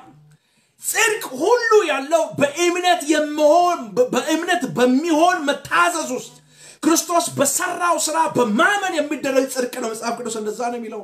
ሮሜ ምዕራፍ 9 ቁጥር 30 post አድርጉልኝ ባካችሁ። የተወደዳችሁ አባቴ ብሩካን፣ ይሄ ለብዙ አገልጋይንን ለሚሉ በተለይ ለሐሰተኛ አስተማሪዎችና ለሐሰተኛ ነቢያቶች መዶሻ እንደሆነ አውቃለሁ። እንዲህ አይነት አስተምሮ እንደማይመቻቸው አውቃለሁ። ኢየሱስ ክርስቶስ ጌታ ነው። ምክንያቱም የሆነ ነገር ጨማምሮ ጨማምሮ ሰውን ለማጥመድ ከህዝቡ ፊት ማሰናከያ እንደሚያስቀምጡ አውቃለሁ። እንደዚህ ይላል ሮሜ ምዕራፍ 9 ቁጥር 3 በስጋ ዘመዶቼ ስለሆኑ ስለ ወንድሞቼ ከክርስቶስ ተለይቼ እኔ ራሴ የተረገምኩ እንደሆንኩ እጸልይ ነበር ይላል ጳውሎስ ሲናገር። ስለ ዕብራውያን አይቶ ያሉበትን environment ተመልክቶ በሚያሳዝን ሁኔታ ስለ እነሱ እጅግ በአፍሪት ይቃትት ነበረ። እንዳይቆረጡ፣ እንዳይጠፉ፣ ከእግዚአብሔር ክብር እንዳይጎሉ። አያችሁ፣ የተረገምኩ እንደሆንኩ እጸልይ ነበርና እነርሱ እስራኤላውያን ናቸውና ልጅነትና ክብር ኪዳንም የሕግም መሰጠት የመቅደስም ስርዓት የተስፋውን ቃል ለእነርሱ ናቸውና ይሄ ሁሉ ለእስራኤላውያን ልጅነት ቢሆን ክብር ቢሆን የኪዳን የሕግም መሰጠት ቢሆን የመቅደስም ስርዓት የተስፋው ቃል ሁሉ ለነሱ ነበረ። እነሱ ግን የተገለጠውን ክርስቶስ የሆነውን መሲሁን ሊቀበሉት አልቻሉም። ከዚህ ነገር የተነሳ ከእግዚአብሔር ክብር ጎደሉ ይላል ጳውሎስ ሲናገር። ስለዚህ እኔ ራሴ በቃ ስለ ወገኖቼ ስል የተረገምኩ እንደሆን እጸልይ ነበር አለ ጳውሎስ ሲናገር። ይሄ ሁሉ ሕግ፣ ይሄ ሁሉ ስርዓት፣ ይሄ ልጅነት፣ ይሄ ክብር ይሄ የኪዳን የሕግም መሰጠት የመቅደስ ስርዓት ሁሉ የተሰጠው ለዕብራዊው ነበረ፣ ለፈሪሳዊ ነበር፣ ለሰዱቃዊው ነበር፣ ለአባቶቻችን ነበር የተሰጠው። ነገር ግን እነሱ አላወቁም አላወቁም። የእግዚአብሔርን የማዳን ስራ ከራሳቸው ላይ አንስተው ጣሉ። ለዚህ ከሆነ የክብርን ጌታ የሰቀሉት አላወቁትም፣ ሰቀሉት። ማለት ተረጋግተው እንኳን ቁጭ ብለው ከእሱ ጋር ለማውራት ታይም እንኳን መውሰድ አልፈለጉም። እነሰነት የምትጠብቁት መሲሁ ክርስቶስ ኢየሱስ እኔ ነኝ ሲላት ዞር በል አሉት። በቃ ሊቀበሉት አልፈለጉም። ጆሮቸውን ደፈኑ። አታስታውሱም? ሉቃስ ወንጌል ምዕራፍ አራት ላይ ጆሮቸውን ይዞ በአንድ ድምፅ ጮሆ ይላል። ከተማቸው ተሰርቶ ወደነበረበት ቅጥር ላይ እየገፉ ወስደው ከተራራ ፈጥፍጠው ሊገሉ ሲሉ እሱ ግን ሁሉን ዝም አሰኝቷቸው መለኮት ነዋ ክርስቶስ ኢየሱስ ያ ይነገርለት የነበረው መሲሁ ነዋ ክርስቶስ ኢየሱስ። ያ የተቀባው ነዋ፣ የተነገረለት፣ የተተነበየለት፣ የተወራለት አዳኝ ነዋ። አባቶች ከሩቅ አይተው የተሳለሙት እኛ ዛሬ የምንሰማውን ክርስቶስ ኢየሱስን ሊሰሙ ብዙ አባቶች ተመኝተው በምኞት ብቻ ቀርተዋል። እድሉን ያገኙ ከሩቅ አይተው ተሳልመው አልፈዋል። ወዳጆቼ ይሄ መሲህ ዝም አሰኝቷቸው በመካከላቸው አልፎ ሄደ ይላል። አልፎ ሄደ ኢየሱስ በመካከላቸው አልፎ ሄደ። መሲሁ ነኝ እያላቸው ክርስቶስ ነኝ። አያችሁ፣ መሲህ ማለት ክርስቶስ ነው። የግሪኩ ቃል ሳጠና እሱን ያገኙት መሲህ የሚለው ቃል ክርስቶስ የሚለውን ክርስቶስ የተቀባ ማለት ነው። እግዚአብሔር የናዝሬቱ ኢየሱስን በመንፈስ ቅዱስና በኃይል ቀባው ይላል። የናዝሬቱ ኢየሱስን ክርስቶስም አድርጎ ነው የቀባው። ክርስቶስ ነው የሆነው ኢየሱስ ክርስቶስ። ሃሌሉያ። ስለዚህ ዕብራዊ፣ አይሁዳውያን፣ ፈሪሳውያን ክርስቶስን ይጠባበቃሉ። የሚጠብቁት ክርስቶስ በስጋ ሲገለጥ ግን መቀበል አልቻሉ። እናንተ የአባታችሁን የዲያብሎስን ስራ ትሰራላችሁ አላቸው። ሆዳም ትውልድ ይበተናል። አያቸው ተአምራት ነው የሚፈልጉት ምናምን amazing በጣም ምልክትን አሳየን። ከዚህ በላይ ምን አይነት ምልክት ያሳያቸው? ምንድን ነው ኢየሱስ ክርስቶስ ያለው ነው። ይሄ ሁሉ ልጅነት፣ ክብር፣ ህግ መሰጠት፣ የመቅደሱ ስርዓት፣ every ነገር የተሰጠው ለነሱ ነበረ። የተሰጣቸውን ግን አላወቁም አላወቁም። ህግን በመጠበቅ በራሳችን ሙሉ አነን፣ በራሳችን መቆም እንችላለን፣ በራሳችን ምንም የጎደለብን ነገር የለም። አይገርምም? እንዲሁ እያሉ ከነ ክብራቸው ምድራዊ ትዕቢተኛ ይላቸዋል። በዚ መጽሐፍ ግዳ ከነ ክብራቸው ነው ወደ ሲኦል የሚገቡት። ወደ ጥልቁ ባህር ነው የሚጣሉት፣ ቶሎ ወደማይጠፋ ወደ እሳት ባህር because እውነት መንገድ ህይወት ክርስቶስ ኢየሱስ ነው። በእርሱ በቀር ማንም ሰው ለዚህ እኮ ነው እናንተ የምትጠሩት የምትሉት ሙሴ ይፈርድባቸዋል አላቸው። እንዴ ስለ አብርሃም ምናምን ሲያወራ ሲያወሩ በጣም ነው surprise። አብርሃም እኮ የሚባለው ግለሰብ ሳይኖር በፊት ክርስቶስ ኢየሱስ ነበረ። ሙሴ የሚባለው ነቢይ ሳይኖር በፊት እኮ ክርስቶስ ኢየሱስ ነበረ። ሰለሞን የሚባለው ንጉሥ ሳይኖር በፊት እኮ እሱ ክርስቶስ ኢየሱስ ነበረ። ከሰለሞን የሚበልጥ ከዳዊት የሚበልጥ ከአብርሃም የሚበልጥ ከሙሴ የሚበልጥ መድኃኒት የሆነው ክርስቶስ ኢየሱስ አለ። እሱ ክርስቶስ በስጋ በመካከላቸው ተገልጦ ወክ እያደረገ የመንግስቱን ወንጌል እየሰበከ ሙታን እየቀሰቀሰ ለምጻም እያነጻ ተአምራት እያደረገ ጉንዱሹን እያዘለለ ክርስቶስ ኢየሱስ እንደሆነ ማመን አቃታቸው። እንዴት ይቀበሉት? የመቆረጣቸው ምስጢር ከእግዚአብሔር ክብር የመጉደላቸው ምስጢር ክርስቶስ ኢየሱስን ስላልተቀበሉት ባይተወ የምናገርበት ትልቁ ሀሳብ አብ አባት በዘመናት ሁሉ መካከል በልጁ በክርስቶስ ኢየሱስ አይደራደርም አይደራደር ኢየሱስ ለእግዚአብሔር አብ ዋነኛው ነው። በቃ ለብዙ ሺህ ዓመታት ጠፍቶ የነበረውን የሰው ዘር የመገኛ resource ክርስቶስ ኢየሱስ ነው። የጠፋውን የሰው ዘር ከሲኦል ያወጣ ወደ ጥልቁ ሲኦል ገብቶ ምርኮን የማረከው እግዚአብሔር አብ አባት በልጁ በክርስቶስ ኢየሱስ ነው። የአብ ቁጣ የበረደው በክርስቶስ ጀርባ ላይ ነው። ወዳጅ እነግርሃለሁ፣ ይሄ እውነት ነው። ይህን መቀበል መቻል አለብህ።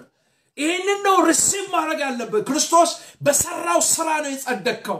አንተ ህግን በመጠበቅ ህግን አድርግ አታድርግ በሚለው በሙሴ ህግ ውስጥ በመግባት የምታመጣው ደህንነት የለም።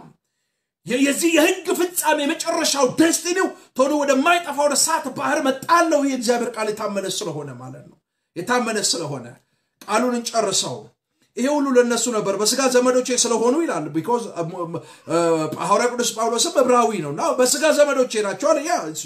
right yes ትክክል ነው ስለሆኑ ይላል ወንድም ስለሆኑ ስለ ወንድሞቼ ከክርስቶስ ተለይቼ እኔ ራሴ የተረገምኩ እንደሆንኩ ጸልይ ነበረ። ሮሜ ምዕራፍ ዘጠኝ ሮሜ ምዕራፍ ዘጠኝ ቁጥር ሶስት ጀምሮ እነርሱ እስራኤላውያን ናቸውና ልጅነትና ክብር ኪዳንም የሕግም መሰጠት የመቅደስም ስርዓት የተስፋውን ቃል ለእነርሱ ናቸውና ይሄ ሁሉ ለእነሱ ተሰጥቶ ሳለ እነሱ ግን accept ማድረግ አልቻሉም። ስለዚህ ሮሜ ምዕራፍ 11 ላይ ወስዳቸዋለሁ እንዴት እንደሆኑ አባቶችም ለእነርሱ ናቸውና ከእነርሱም ክርስቶስ በስጋ መጣ። ከእነርሱ ከአባቶቻቸው ክርስቶስ በስጋ ከእነርሱ መጣ። ማ ክርስቶስ ክርስቶስ የቱ ክርስቶስ?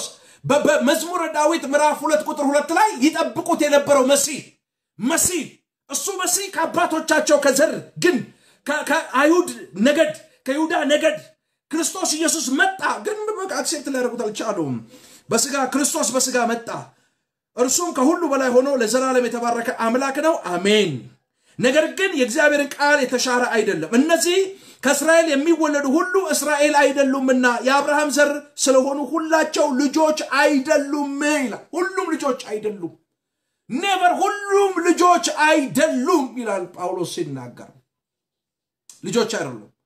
ስለዚህ የሮሜ ምዕራፍ 11 ላይ ግቡና ከቁጥር 16 ጀምሮ አንብቡት እግዚአብሔርን ቃል በኩራቱ ቅዱስ ከሆነ ብሆው ደግሞ ቅዱስ ነው። ስሩ ቅዱስ ከሆነ ቅርንጫፎ ደግሞ ቅዱሳን ናቸው።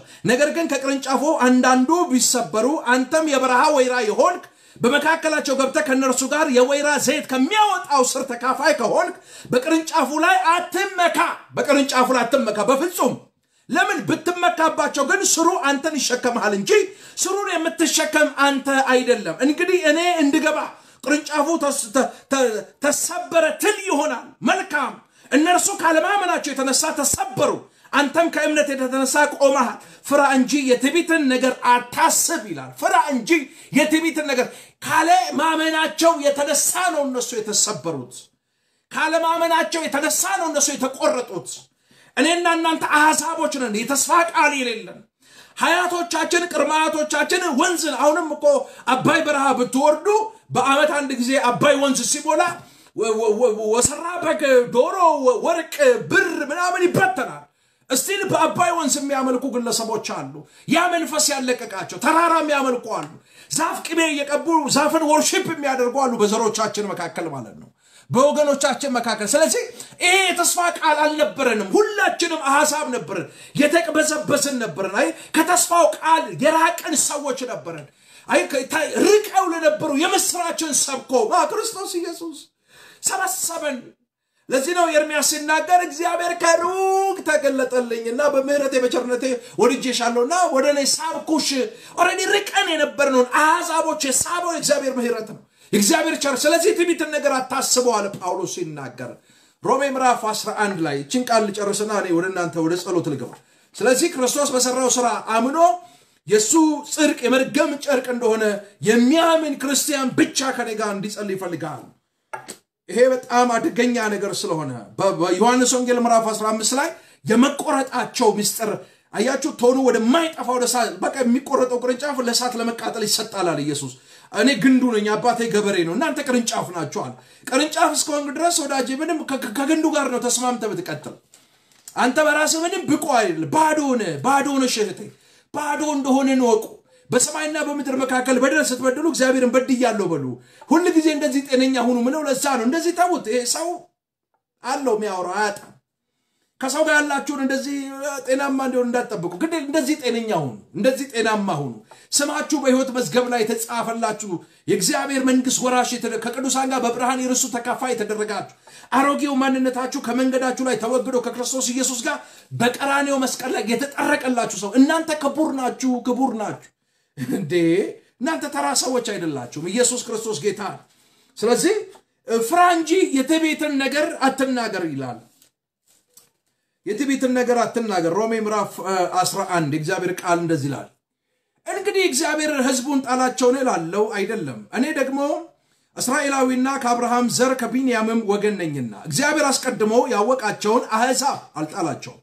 መጽሐፍ ስለ ኤልያስ በተጻፈ የሚለው በእግዚአብሔር ፊት እስራኤልን እንዴት እንደሚከስ አታውቁምን? ጌታ ሆይ ነቢያትን ገደሉ፣ መሰዊያዎችንም አፈረሱ፣ እኔ ብቻዬን ቀረው፣ ነፍሴን ይሿታል። ነገር ግን አምላካዊ መልስ ምን አለው?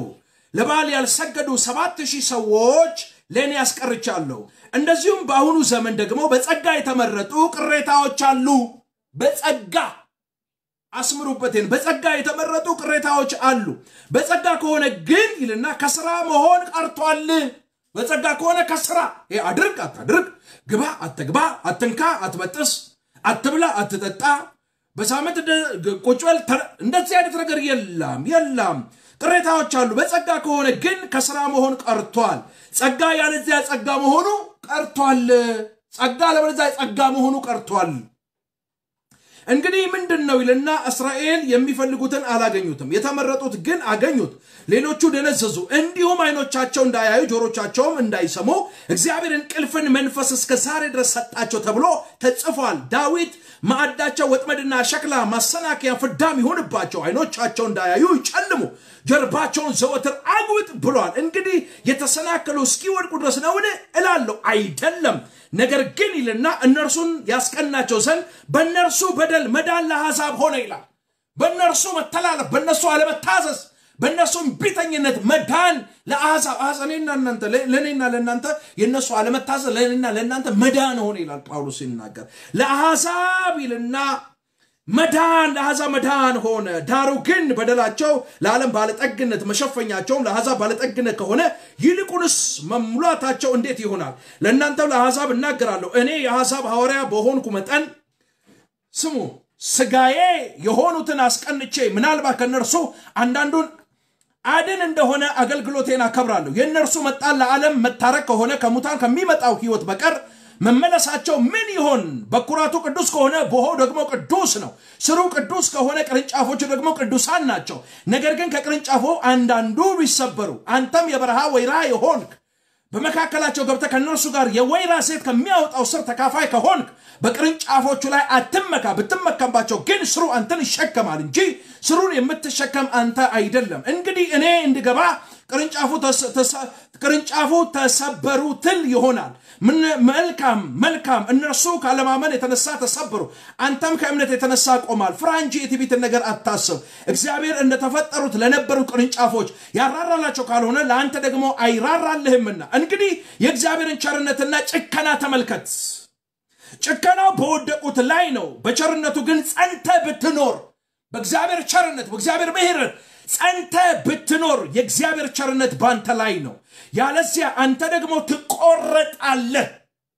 አንተ ደግሞ ትቆረጣለህ። እነዚያ ደግሞ ባለማመናቸው ጸንተው ባይኖሩ በዛፉ ውስጥ ይገባሉ። እግዚአብሔር መልሶ ሊያገባቸው ይችላልና አንተ በፍጥረቱ የበረሃ ከነበረ ወይራ ተቆርጠ እንደ ፍጥረት ሳትሆን በመልካም ወይራ ከገባ ይልቁንስ እነዚያ በፍጥረታቸው ያሉት ቅርንጫፎች በራሳቸው ወይራ እንዴት አይገቡም? ይላል ጳውሎስ ሲናገር። ወንድሞች ሆይ ልባሞች የሆናችሁ አይምሰላችሁ፣ ይህንን ምስጢር ታውቁ ዘንድ ወዳለሁ። የሐሳብ ሙላት እስኪደርስ ድረስ ድንዛዜ በእስራኤል በአንዳንዱ በኩል ሆነባቸው፣ እንደዚሁም እስራኤል ሁሉ ይድናል። እንዲህ ተብሎ እንደተጻፈ በትንቢት ቃል እንደተጻፈ እስራኤል ሁሉ ይድናል። finally ይድናል። ጳውሎስ እንደዛ ይላል። ስለዚህ በተቆረጠው በኩል የበረሃ ሆነ ገብተ ዘይት ከሚያፈልቀው ከ resource ኡ ጋር ከተገናኘ ፍራ እንጂ የትዕቢትን ነገር አትናገር። ስለዚህ የጸደቅከው ስምህ በሕይወት መዝገብ የተጻፈው ከጨለማ ወደ ብርሃን ከሞት ወደ ሕይወት የመጣኸው አንተ በምታስቆጥረው የጽድቅ ስራ ሳይሆን በክርስቶስ ኢየሱስ በሰራው ስራ በማመን ብቻ ነው። ፔሬድ በቃ አለቀ። አራት ነጥብ። ስለዚህ ማንም ሰው እንዳይመካ እንዳይመካ እንዳይመካ ከስራ አይደለም። ማንም ሰው እንዳይመካ ከስራ አይደለም። በፍጹም ከስራ አይደለም። በፍጹም ተጠንቀቁ እህት ወንድሞቼ ተጠንቀቁ። የኤፌሶን ምዕራፍ ሁለት ቁጥር 11 ላይ እንደዚህ ይላል፣ ስለዚህ እናንተ ቀድሞ አሕዛብ የሆናችሁ በአካል ላይ በሰው እጅ ከተደረገው የተነሳ ራሳቸውን ተገርዘናል ለሚሉ ያልተገረዙ የተባለላቸው ያን አስታውሱ ይላል። እናንተ አስቀድሞ አሕዛብ የሆናችሁ ከፍጥረታችን ከመጀመሪያ ጀምሮ ኦልሬዲ እኛ ምኖች ነን አሕዛቦች አሕዛቦች የተስፋ ቃል የሌለን ገላትያ ሲ ምዕራፍ ምዕራፍ አራትን ያው ታውቁታላችሁ። እስኪ ምዕራፍ አምስትን እንመልከተው እና አገራዊ ፕሮፌሲ ይናገራለሁ እንጂ ሰስ ኔም ከዛ ጸልይላቸዋል። ኢየሱስ ያድናል። እኔ ልባርካችሁ ነው ዛሬ የመጣሁት። already ማስታወቂያውን ልናገር ነው ወደ እናንተ የመጣሁት። ማስታወቂያ እናገራለሁ። ሀያ አንድ ቀን ጾምና ጸሎት በእግዚአብሔር ፊት የምንይዝበት እጅግ በጣም የተወደደ ጊዜ ከፊታችን አለ። በዚህ ሀያ አንድ ቀን ውስጥ እግዚአብሔር የማዳን እጁን በምድራችን ላይ ይዘረጋል። አዋጅን እግዚአብሔር ይገለብጣል። እግዚአብሔር ቀንበርን ይሰብራል። ኢየሱስ ያድናል። ክብር ለኢየሱስ ይሁን። ድምፄ ይሰማችኋል? ሀሎ ከኔ ጋር ናችሁ? comment አችሁ አይታየኝም። ቶሎ ቶሎ comment ጻፉልኝ። ከኔ ጋር ጥቂት ደቂቃ እንድታሳልፉ በጌታ ፍቅር ጠይቃችኋለሁ። ዘመናችሁ ይባረክ። ኢየሱስ ክርስቶስ ጌታ ነው። ፌበን እየተባረኪ ጸልያለሁ። የትም እንዳትሄዱ። እግዚአብሔር ታላቅን ነገር ያደርጋል። ስለዚህ ማንም በስራ የጸደቀ በእኛ መካከል የለም። አረል አረል የጸደቀ አለ እኔ እኮ ብላ ብሎ የሚያስቆጥረው ጽድቅ ያለው ሰው አለ እንዴ? ከመሃላችን ካለ ንገሩኝ። በነፃነት ልንኖር ክርስቶስ ነፃነት አወጣን። እንግዲህ ጸንታችሁ ቁሙ፣ እንደገና በባርነት ቀንበር አትያዙ። እነሆ እኔ ጳውሎስ እላችኋለሁ፣ ብትገረዙ ክርስቶስ ምንም አይጠቅማችሁ። ብትገረዙ እንኳን ክርስቶስ ኢየሱስ ምንም ነገር አይጠቅማችሁ። ሕግን ሁሉ እንዲፈጽም ግድ አለበት ብዬ ለሚገረዝ ሁሉ ለእያንዳንዶቹ ደግሜ እመሰክራለሁ። መገረዝ ትፈልጋለህ? 623 አንቀጹን ሁሉ መፈጸም አለብህ መፈጸም አለብህ። በተአምር ደግሞ ልትፈጽመው አትችልም። ያዕቆብ መልእክትን ሂድና ያዕቆብን ሐሳብ በደንብ አንደርስታንድ አድርገው። ሙሉ መጽሐፉን አጥነው ያዕቆብን። ሕግን ሙሉ የፈጸመው ክርስቶስ ነው። የሕግ ፍጻሜ ክርስቶስ ነው። ስለዚህ ሕግን ሁሉ መፈጸም እችላለሁ ብሎ በራሱ ማሰብ ራሱ እኔ እንደ ክርስቶስ መሆን እችላለሁ ማለት ነው። አንተ፣ እኔ፣ አንቺና እኔ እንደ ክርስቶስ መሆን አንችልም አንችልም። በምንም ተአምር ክርስቶስ የሰራውን ስራ መስራት አንችልም። ስለዚህ ክርስቶስ የምን የሕግ ፍጻሜ ነው። ሕግን ሁሉ የፈጸመው ክርስቶስ ኢየሱስ ነው። ብሩክ የተባረኩ ዘመናችሁ ይባረክ። ኢየሱስ ክርስቶስ ጌታ ነው። ስለዚህ ሕግን ሁሉ እንዲፈጸም ግድ አለበት ብዬ ለሚገረዙት ሁሉ ለእያንዳንዳቸው ደግሜ ይመሰክራለሁ አለ ጳውሎስ። ምን አይነት ጀኒውን ስፒሪት ነው የሚሰራበት? ስለዚህ በቃ መገረዝ ምናምን ምናምን የምታስቡ ከሆነ አላቸው በቃ ክርስቶስ ምን ያደርግላቸዋል እንዴ? ክርስቶስ ለምን ሞተ ታዲያ? ክርስቶስ ኃይሉን ክብሩን ዙፋኑን ጥሎ ከሰማይ ሰማዕታት ወርዶ በእመቤታችን በቅድስት ድንግል ማርያም ፍጹም ሰው መሆን ለምን አስፈልገው? ሰው ሕግን በመጠበቅ የሚድን ከሆነ ሰው ሕግን በመጠበቅ የዘላለምን ሕይወት የሚያገኝ ከሆነ ክርስቶስ መሞት ለምን አስፈልገው? ለምን አስፈልገው? ስለዚህ ያዕቆብ እንደዚህ ይላል፣ ዘጠኙን እንኳን ጠብቀ ይላል። ተው 623ቱን አንቀጽ ምናምን ተውት። ዘጠኙን ጠብቆ ይላል፣ በአንዱ ቢስት ይላል፣ በዘጠኙ ይስታል። ጠብቀ ጠብቀ ጠብቀሽ ጠብቀ ጠብቀሽ ጠብቀሽ ጠብቀ ጠብቀ ጠብቀ መጣ አንዷ ስትቀር ማለት ነው። አንዷ በአንዷ ብትበድል፣ በአንዷ ብትስት፣ በአንዷ ብትበድይ፣ በአንዷ ብትሰጪ በአስሩ ሁሉ ስተሻል ማለት ነው። ዘጠኙ በዜሮ ይጣፋል ማለት ነው። ሕግን ሁሉ የፈጸመው አቤት ኢየሱስ ምን አይነት ጀግና ነው! Lion of Judah ምን አይነት አንበሳ አምላክ ነው ያለን። ከኃጢአት በቀር በነገር ሁሉ የተፈተነ እንዲህ አይነት ሊቀ ካህን ይገባናል፣ ይገባናል፣ ይገባናል። ጀግና የሆነ አባት አለን። ጀግና የሆነ አምላክ አለን። እንዲህ አይነት ሊቀ ካህናን ነው ያለን። እንዲህ አይነት አባት የእምነታችን ጀማሪና ፈጻሚ። አይ ብዙዎቹ ጀምረዋል ግን አልፈጸሙም። ሙሴ ጀመረና የሆነ ተራራ ላይ አቆመ። ኤልያስን ብትከተል ኤልያስ ጀመረና የሆነ ክትክታ ዛፍ ስር በቃ እኔ ከአባቶች አልበልጥም ነው ያለው። ወዳጅ ማንም ሰው ምሳሌ መሆን አይችልም። እኔን ብትከተለኝ እንክትክት ብለህ ነው የምጠፋው። እኔ ምሳሌ ልሆን አልችልም። በጣም ደካማ ኃጢአተኛ በደለኛ ሰው ነኝ እኔ። ስለዚህ የእኔ ጽድቅ የመርገም ጨርቅ እንደሆነ አውቃለሁ። ክርስቶስ ኢየሱስ በሰራው ስራ አምኜ የዳንኩ ሰው ነኝና አንዳንድ ሰዎች አይታችኋል። ወደ አሁን እንደ ቲክቶክ ማህበረሰብ አካባቢ ስትሄዱ በቃ እያኮጃቸው ድምፃቸው እንደዚህ ያወፍሩታል። እግዚአብሔር የተባረከ ይሁን እግዚአ በኛ ላይ ጃኮ ብላ እንደዚህ እንዴ ወዳጄ ድምፅህን ስላጎረነንክ ሱትና ምናምን ውድ ልብስ ከረባ ስለለበስክ አይደለም። አንተ በምሰራው ስራ መጽደቅ አትችልም። ያንተ ጽድቅ የመርገም ጨርቅ ነው። ስለዚህ እነሱ ሊነኩ የማይፈልጉትን ትብታብ በምዕመኑ ላይ፣ በአማኙ ላይ፣ በክርስቲያኑ ጫንቃ ላይ ይጭናሉ። ስለዚህ እኛ ደግሞ ሰልችቶናል፣ መሸከም ደክሞናል። አያችሁ፣ በእግዚአብሔር ዓለም ያሉ የሚመስሉ በ church ውስጥ ያሉ የ church አባል የሆኑ ከእግዚአብሔር ከመንፈስ ዓለም ግን የተቆረጡ ባዶ የሆኑ ማለት ነው። ባዶ የሆኑ ባለፈው ነግሬያችኋለሁ። ስለዚህ ስለ ጥንቁልና፣ ስለ አስማት፣ ስለ ዛር መንፈስ አስተምር ይሄ ቄስ ሁሉ ቄስ አይደለም ብያለሁ። ነቢይ ሁሉ ነቢይ አይደለም ወንድሜ። በደንብ አብጠርጥረ እንደ ቤሪያ ሰዎች እግዚአብሔርን ቃል ማወቅ መቻል አለብህ። የቆምክበትን አለቱ ክርስቶስ ኢየሱስን ማወቅ አለብ። ያንን የዳንክበትን መዳን ያን እንደ መልህቅ ልትይዘው ይገባል። ማዕበል ወጀብ ሲመጣ እንዳትናወጥ፣ ያ መልህቅ መርከቢቱን እንዳትናጥ ከአውራቂስ ከሚባለው ታላቅ አውሎ ነፋስ ታላቅ ወጀብ ቀጥ አድርጎ እንደሚሳት የቆምክበት መሰረቱ ስር መሰረቱ አለቱ ክርስቶስ ኢየሱስ ነው። ለዚህ ነው መጽሐፍ ቅዱስ ሲናገር በኢየሩሳሌም የማሰናከያ ድንጋይ ያስቀምጣሉ አለ። በዛ ድንጋይ የማይሰናከል ሰው ብፁዕ ነው። የጌታን ስም የሚጠራ ሁሉ ይድናል ይድናል። ስሙን ጠርቶ የሚወድቅ የሚያፍር ግለሰብ የለም። ስለዚህ በቃ እናንተ ማድረግ የማትችሉትን ትብታብ ህዝቡ ላይ በቃ ህዝቡ ደክሞታል። ራሱ ፖለቲካው አድክሞታል። የኑሮ ውድነት አድክሞታል። ረሃቡ፣ ጦርነቱ፣ ቸነፈሩ፣ ችግሩ ህዝቡ ድክም ብሏል እና የደከመ የዛለ ህዝብ ትከሻ ላይ እንደገና ትብታብ ህግን ወስዳችሁ አትጫኑበት። የገላትያ መጽሐፍ አሳያቸዋለሁ እንዴት እንደሚናገር። ይሄ የባሪያይቱ ልጆች ልጆችን ለባርነት ነው የምትወልደው ይላል እና የጨዋይቱ ደግሞ ልጆች ለአዲስቷ ኢየሩሳሌም ባይዘዌ ቤተክርስቲያን ናት እቺ ኢየሩሳሌም እና እንደ ሁለቱ ህግ ምሳሌ ናቸው እነዚህ ሁለቱ ሴቶች ይላል ጳውሎስ እንጂ ሳራንና አጋርን እስማኤልና ይስሐቅን ለመጥቀስ አይደለም። ይሄ ብሉይ ኪዳንና አዲስ ኪዳንን ነው የሚያወራው ጳውሎስ። እንደ ሁለቱ ህግ ምሳሌ ናቸው ይላል። የሁለቱ ህግ ምሳሌ ናቸው። እስማኤል ለባርነት የተፈጠረ ከዛም በኋላ የእስማኤል እናት ለባርነት ልጆችን የምትወልደው የህጉ ምሳሌ ነው። ሰው እንዴት ህግን ጠብቆ እንዴት በህይወት መኖር ይችላል? እንዴት የዘላለም ህይወት ማግኘት ይችላል? በፍጹም never ever አይችልም። በፍጹም ነው ማይችለው።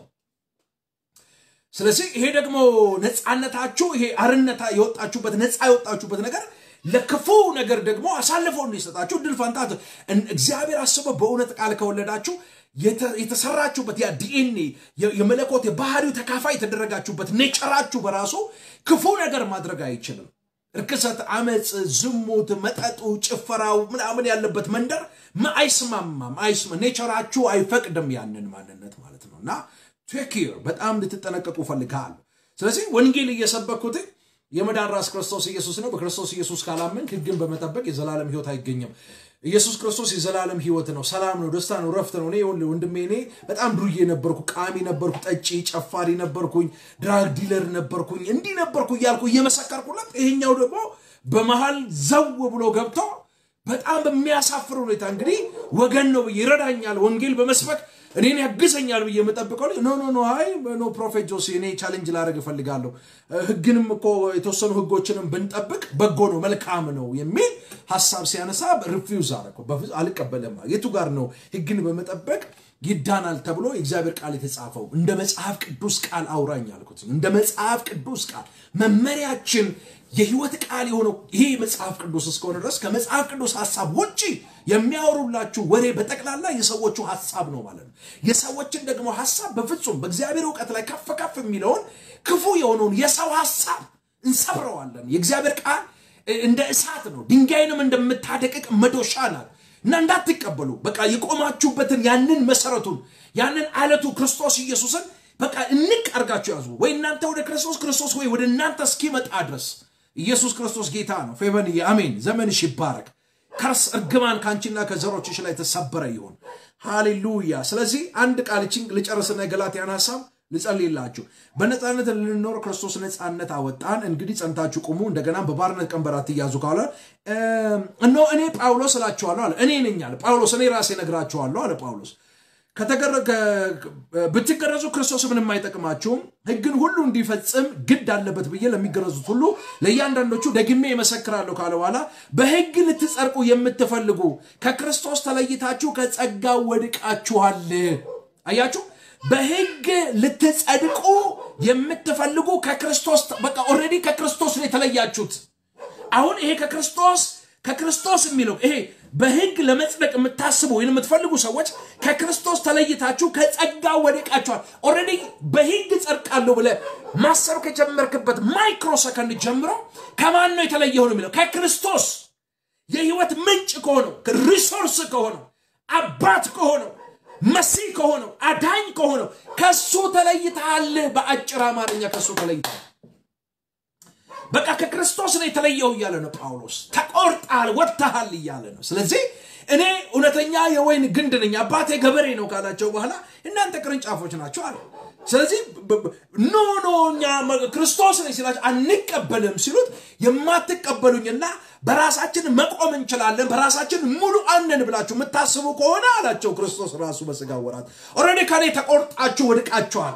ወደ እሳት ለመቃጠል ነው የምትጣሉት አለ። ያንኑ ቃል ነው ጳውሎስ የደገመው። ስለዚህ በህግ ለመጽደቅ የምታስቡ ከሆነ ከክርስቶስ ኢየሱስ ማኩር ዲና አማሶ ብራል ያለው ሳካባያ የምትፈልጉ ከክርስቶስ ተለይታችሁ ከጸጋ ወድቃችኋል። ኢትስ ደን ሰከንድ ኦፕሽን የላቸው። ኢትስ ደን እኛ በመንፈስ ከእምነት የጸደቅን የጸደቅን ተስፋ እንጠባበቃለን አላቸው። በክርስቶስ ኢየሱስ ሆኖ በፍቅር የሚሰራ እምነት እንጂ መገረዝ ቢሆን ወይንም አለመገረዝ አይጠቅምምና መልካም በመልካም ትሮጡ ነበር፣ ለእውነት እንዳትታዘዙ ማን ከለከላችሁ? ይህ ማባበል ከሚጠራችሁ አልወጣም። ጥቂት እርሾ ሊጡን ሁሉ ያቦካልና የተለየ ነገር ከቶ እንዳታስቡ እኔ በጌታ ስለ እናንተ ታምኛለሁና የሚያናውጧችሁ ማንም ቢኖር ግን ፍርዱን ሊሸከም ነው። ነገር ግን ወንድሞች ሆይ እኔ ገና እስከ አሁን መገረዝን ብሰብክ እስካሁን ድረስ ለምን ያሳድዱኛል? እንኪያስ የመስቀል እንቅፋት ተወግዷል። ስለዚህ መገረዝን ሰባኪ የህግ አስተማሪ የመገረዝ አስተማሪ ማ በሆን ይሄ ሁሉ ስደት ይሄ ሁሉ መከራ በህይወቴ ላይ አይመጣም ነበር አላቸው ጳውሎስ። አይመጣብኝም። ከዛ የሚያውቋችሁ ይቆረጡ አለ። ይቆረጡ ወንድሞች ሆይና እናንተ ለአርነት ተጠርታችኋልና ብቻ አርነታችሁ ለስጋ ምክንያት አይስጥ። ነገር ግን ፍቅር እርስ በርሳችሁ እንደ ባሪያዎች ሁኑ። በምን በፍቅር እርስ በራሳችሁ እንደ ባሪያዎች ሁኑ። እንደ ባሪያዎች ሁኑ። እቺ ገላትያ ምዕራፍ አራት ላይ ወደ ኋላ ሄዳችሁ ብታነቡ እጅግ በጣም deep የሆነ ሚስጥር ታገኛላችሁ። deep የሆነ ሚስጥር። ስለዚህ የጨዋይቱ ልጅ ነው የሚወርሰው እንጂ የባሪያይቱ ልጅ ሊወርስ አልተጠራም አልተጠራም አልተጠራም በፍጹም አልተጠራም። እንደዚህ የሚል ቃል ታገኛላችሁ አራት ላይ ነገር ግን እላለሁ ወራሹ ሕፃን ሆኖ ባለበት ዘመን ሁሉ ምንም የሁሉ ጌታ ቢሆን ከቶ ከባሪያ አይለይም። ነገር ግን አባቱ እስከቀጠረለት ቀን ድረስ ከጠባቂዎችና ከመጋቢዎች በታች ነው። እንዲሁ እኛ ደግሞ ሕፃናት ሆነን ሳለን ከዓለም መጀመሪያ ትምህርት በታይ ተገዝተን ባሪያዎች ነበርን። ነገር ግን የዘመኑ ፍጻሜ የደረሰ ጊዜ እግዚአብሔር ከሴት የተወለደውን ከሕግም በታች የተወለደውን ልጁን ላከ። አንድ ልጅ አንድ እንደ ልጆች እንሆን ዘንድ ከሕግ በታች ያሉትን ይዋጅ ዘንድ ልጆችም ስለሆናችሁ እግዚአብሔር አባባ ብሎ የሚጮው የልጁ መንፈስ በልባችሁ ውስጥ ላከ። ስለዚህ ከእንግዲህ ወዲህ ልጅ ነህ እንጂ ባሪያ አይደለም። ልጅ ከሆንክ ደግሞ በክርስቶስ የእግዚአብሔር ወራሽ ነህ። በክርስቶስ የማ የራሱ የእግዚአብሔር ወራሽ ነህ።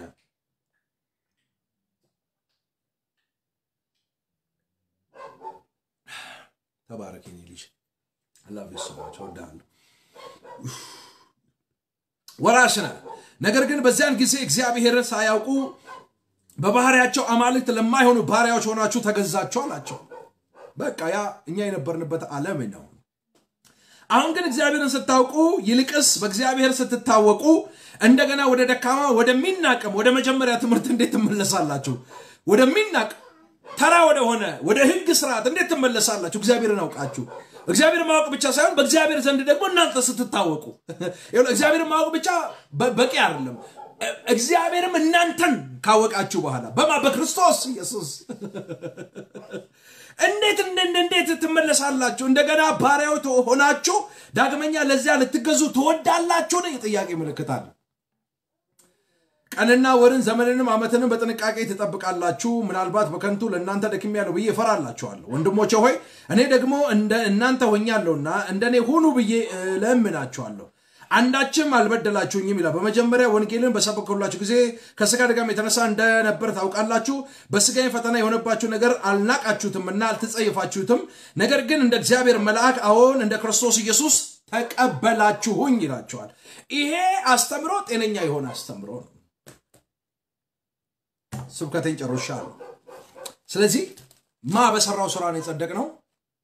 ክርስቶስ ኢየሱስ ኢየሱስ በሱ ስራ እኛ ጸድቀናል። አሁን በክርስቶስ ኢየሱስ ላሉት ኩነኔ ኩነ እስኪ አስር ሰው ፈልጋለሁ። ኩነኔ የለብኝም። እኔ ጸድቄያለሁ።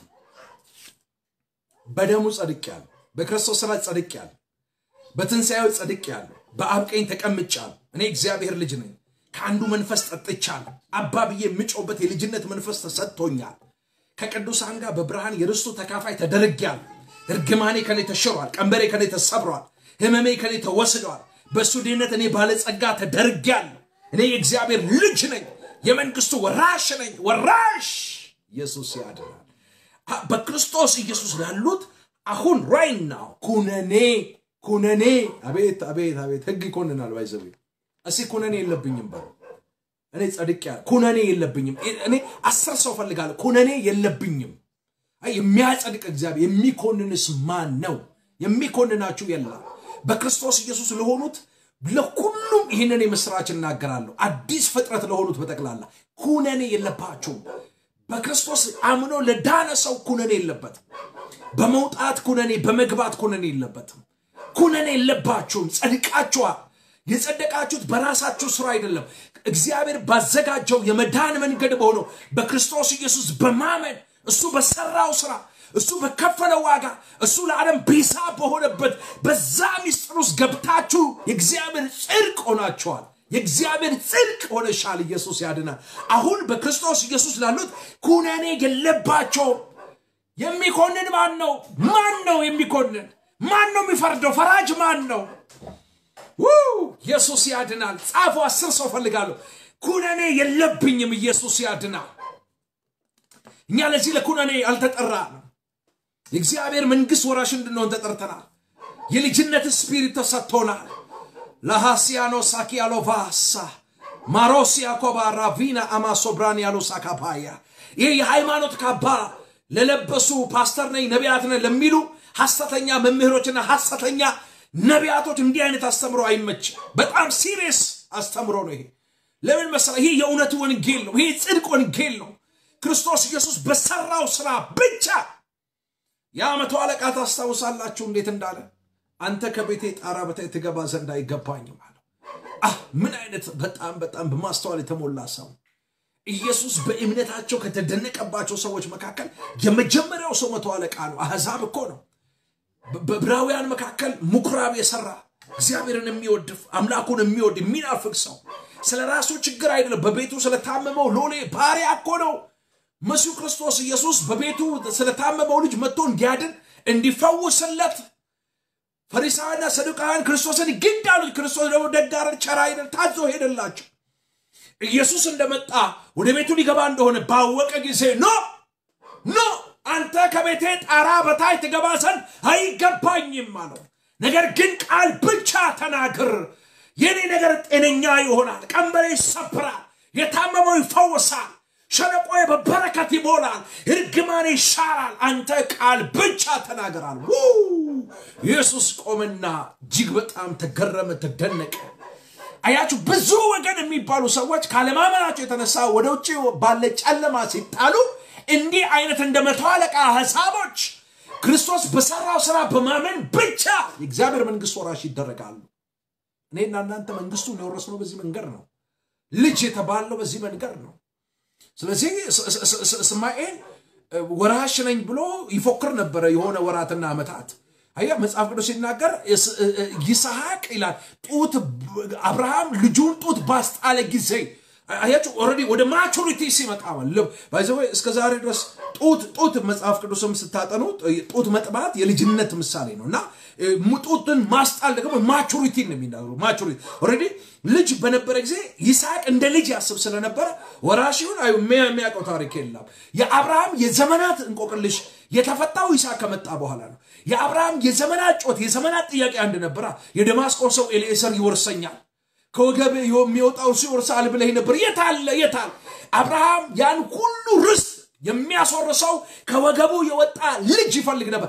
እስማኤል ደግሞ እንደ ተስፋው ቃል ሳይሆን እስማኤል የመጣው እንደ ስጋ ፈቃድ ነው የመጣው። እንደ ተስፋው ቃል ሳይሆን እንደ እግዚአብሔር ሀሳብ ሳይሆን እንደ ስጋ ሀሳብ ነው እስማኤል የመጣው። ስለዚህ እንደ ስጋ ሀሳብ የመጣው የተስፋይቱን ምድር ወይም የተስፋይቱን የአብርሃምን ርስት መውረስ አይችልም።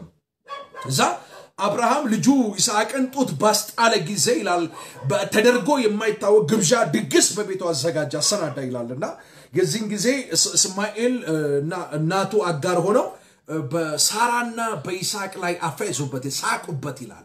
ሳቁበት ለምን ወራሽ አንተ ወራሽን ልትወርስ ምናምን ያው እንግዲህ ታውቃለህ፣ ትችት ማለት negative word እያወጡ አፌዙበት፣ ሳቁበት። የዛን ጊዜ ነው የመለኮት ድምፅ የመጣው የመጣው አብርሃምን እግዚአብሔር እንደዚህ አለው፣ ሚስትህ ሳራ ያለችን ነገር ፈጽም አድርግ። ስለ ልጅ ስለ እስማኤል ልብህ እንዳይወድቅ እሷ ያለችን ነገር ፈጽም። እንደ ተስፋ ቃሉ የሚወርሰው ይስሐቅ እንጂ እስማኤል አይደለም። ስለዚህ እስማኤልን ከእናቱ ከአጋር ጋር አስወጣና ሸኛቸዋል። ላካቸው፣ ሸኛቸው። ለዚህ ነው ገላትያ ላይ ጳውሎስ ይህንን ነገር እነዚህ ሁለት ሴቶች እንደ ሁለቱ ኪዳኖች ናቸው ያለው። እንደ ሁለቱ ኪዳን ብሉይ ኪዳንና አዲስ ኪዳን ሌላ ነገር እንዳይመስል እንደ ሁለቱ ኪዳን ናቸው። ስለዚህ ያቺ አጋር የምትባለው በአረብ ሀገር የምትኖረው ልጆችን ለባርነት ነው የምትወልደዋል። ይችኛዋ ደግሞ እንደ ተስፋው ቃል ደግሞ ልጆችን ለመውረስ ለነፃነት ነው የምትወልደዋል። በቃ ዛ ሴት ይሄ ነው በቃ መጽሐፉን ስትዘጋው ይሄን ነው የሚያወራ። ሌላ የሚያወራ ነገር የለም። ኢየሱስ ክርስቶስ ጌታ ነው። ስለዚህ ይስሐቅ እያለ እስማኤል አይወርስም። እናንተ እያላችሁ ሌላ የሚወርስ ነገር የለም። ከፍታ፣ ሞገስ፣ ባለጠግነት፣ በጎነት፣ ቸርነት ሁሉ የናንተ ነው የናንተ ነው የቤታችሁ የናንተ ነው። ሃሌሉያ። በቃ ጨርሻለሁ ስብከቴን። ማስታወቂያ ልናገርና ቀጥታ ለእናንተ ልጸልይ። ኢየሱስ ክርስቶስ ጌታ ነው። ኩነኔ የለባችሁም። በክርስቶስ ኢየሱስ በተደረገው ስራ በማመናችሁ ብቻ የእግዚአብሔር መንግስት ወራሽ ተደርጋችኋል። ዛሴት done ስብከቴን ጨርሻለሁ። ሊያ እየተባረከ እግዚአብሔር ከአንቺ ጋር ነው። ዘመናችሁ የተባረከ ይሆን። ዛሬ ቅዳሜ ነው፣ በኢትዮጵያ calendar አቆጣጠር ዛሬ ቅዳሜ ነው። የተለያየ ምድር ላይ ያላችሁ ምናልባት እሁድ አጥቢያ ሊሆን ይችላል፣ ሌሊት ሊሆን ይችላል፣ morning ሊሆን ይችላል። እንደየ አላችሁበት ምድር ይወሰናል ማለት ነው። so እንደ ባማ ሆሊፋይድ ኢንተርናሽናል ቤተክርስቲያን ባለ ራእይ የእግዚአብሔርን ድምፅ እንደሚሰማ እንደ ነቢይ የመለኮትን ድምፅ እንደሚያደምጥ ሎርድ ጂሰስ ቴንክ ዩ ፋዘር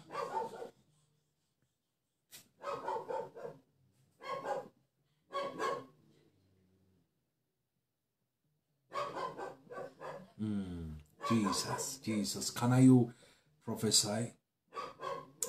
Lora siakobania losakabarabaya. Los baniakoba sabrania losakabaya. Daskiba magusa kialovanas. ዘሄቤቤቤቤያ አባቱ ይጸልያለሁ።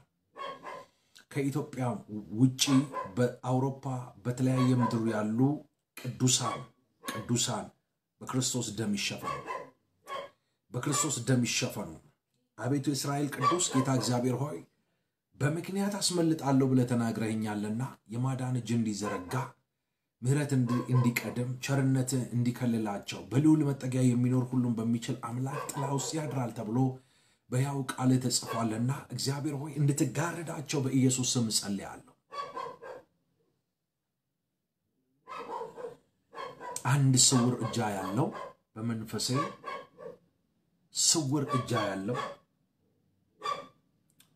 ሆን ተብሎ በቀመር ሆን ተብሎ በቀመር ደግማለሁ። ሆን ተብሎ በቀመር በቀመር በ calculate ምድሪቱ ላይ አደገኛ የሆነ መቅሰፍት እንዲመጣ እየተሰራ ያለው ራይና የሚገርም ነው። እኔ ማስታወቂያ ልናገር ነበር። የእግዚአብሔር መንፈስ ይህን ያሳየኛል።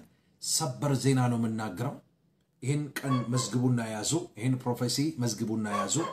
በእነዚህ 15 ቀን ውስጥ በፊታችን ባለ 15 ቀን ሀያ ቀን ሳይሞላ ሀያ ቀን ሳይሞላ ሀያ ቀን ሳይሞላ በ15 ቀን ውስጥ በአውሮፓ በተለያዩ ከተማዎችና ዋህ ሎስ ሃኪያሎቫናስ ለሄዴ ሴክራሊያሎቫኪያኖ ሳካባያ ዘሄቤቤቤቤቤያ መሃኖስቴ ደስኪባ ጆሮን ጭው ሊያደርግ የተሰናዳ በመናፍስቱ ዓለም ስውር እጃ ያለው ስውር እጃ ያለው ስውር እጃ ያለው ስውር እጃ ያለው ስውር እጃ ያለው በአውሮፓ ቅዱሳን የምታምኑ የማታምኑ ጸልያለሁ ለእናንተ ሀያ ቀን ሳይሞላ በዚህ 15 ቀን ውስጥ የሚፈጸም prophecy ነው የምነግራችሁ።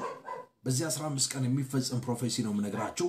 ግን እንዳይሆን ከኔና ከእናንተ ጋር ተስማምቼ ጸልያለሁ ጸልያለሁ። በአውሮፓ በአውሮፓ በተለያዩ ስቴቶች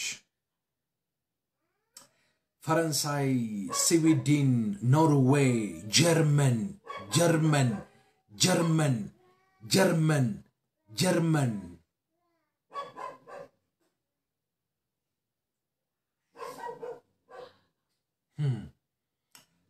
ጂላ ሶባሪያ ኮማ ሶብራኒያኖስ ምና ያለው እንደ ጥቁር ብናኝ የሚመስል እንደ ጥቁር ሙሉ ለንደን ከተማን ለንደን ከተማን እንደ ጥቁር ብናኝ የሚመስል ልክ እንደ ጥቁር ብናኝ ከሰማይ ዝቅ ብሎ ምድሪቷን ሲያጨልማ ያለው ለንደን ከተማ ለንደን ዩኬ ዩኬ እንደ እንደ ብናኝ ልክ የሆነ ብርድ ልብስ የቆሸሸ ብርድ ልብስ ስታራግፉ ብናኝ እንደሚበነው ልክ እንደዚህ አይነት ብናኝ የሚመስል ምድሪቱን ሲከድን አያለው። ድግኛ አውሎ ንፋስ አያለው። ሱናሜ ሲቀሰቀስ እመለከታለሁ። ከተማ በጎርፍ ሲመታ ያለው ከተማ በጎርፍ ሲመታ ያለው ኤሌክትሪኮች ሲጠፋ ያለው ብዙ ሞት ሲያስከትላ ያለው ብዙ የቤት ጣራዎች እየተነቀሉ ከባድ የሆነ የኢኮኖሚ ቀውስ ሲነሳ ያለው አስራ አምስት ቀን ይለኛል የልዑል እግዚአብሔር መንፈስ። አስራ አምስት ቀን እኔ በለንደን በአውሮፓ በተለያየ ከተማ ላላችሁ ቅዱሳን እኔ አሁን እጸልያለሁ። በክርስቶስ ኢየሱስ ደም ተሸፈኑ። ክፉ ነገር ወደ እናንተ እንዳይቀርብ፣ መቅሰፍት ወደ ቤታችሁ እንዳይገባ በከበረው ደም ተሸፈኑ። በከበረው ደም ተሸፈኑ። እንዳትረሱ። ከዚህ በፊትም ተናግሬያለሁ። አንድ የአውሮፓ ከተማ ሙሉ በውሃ ሲሰጥም አይቻለሁ ብያቸዋለሁ። የዛሬ አንድ ዓመት በደንብ አስተውሉ። ቪዲዮውን አውጥቼ ያሳያቸዋለሁ። ዩቲዩብ ላይም አለ። የዛሬ አንድ ዓመት ከስምንት ወር ከዘጠኝ ወር አካባቢ መልእክት ነግሬያቸዋለሁ።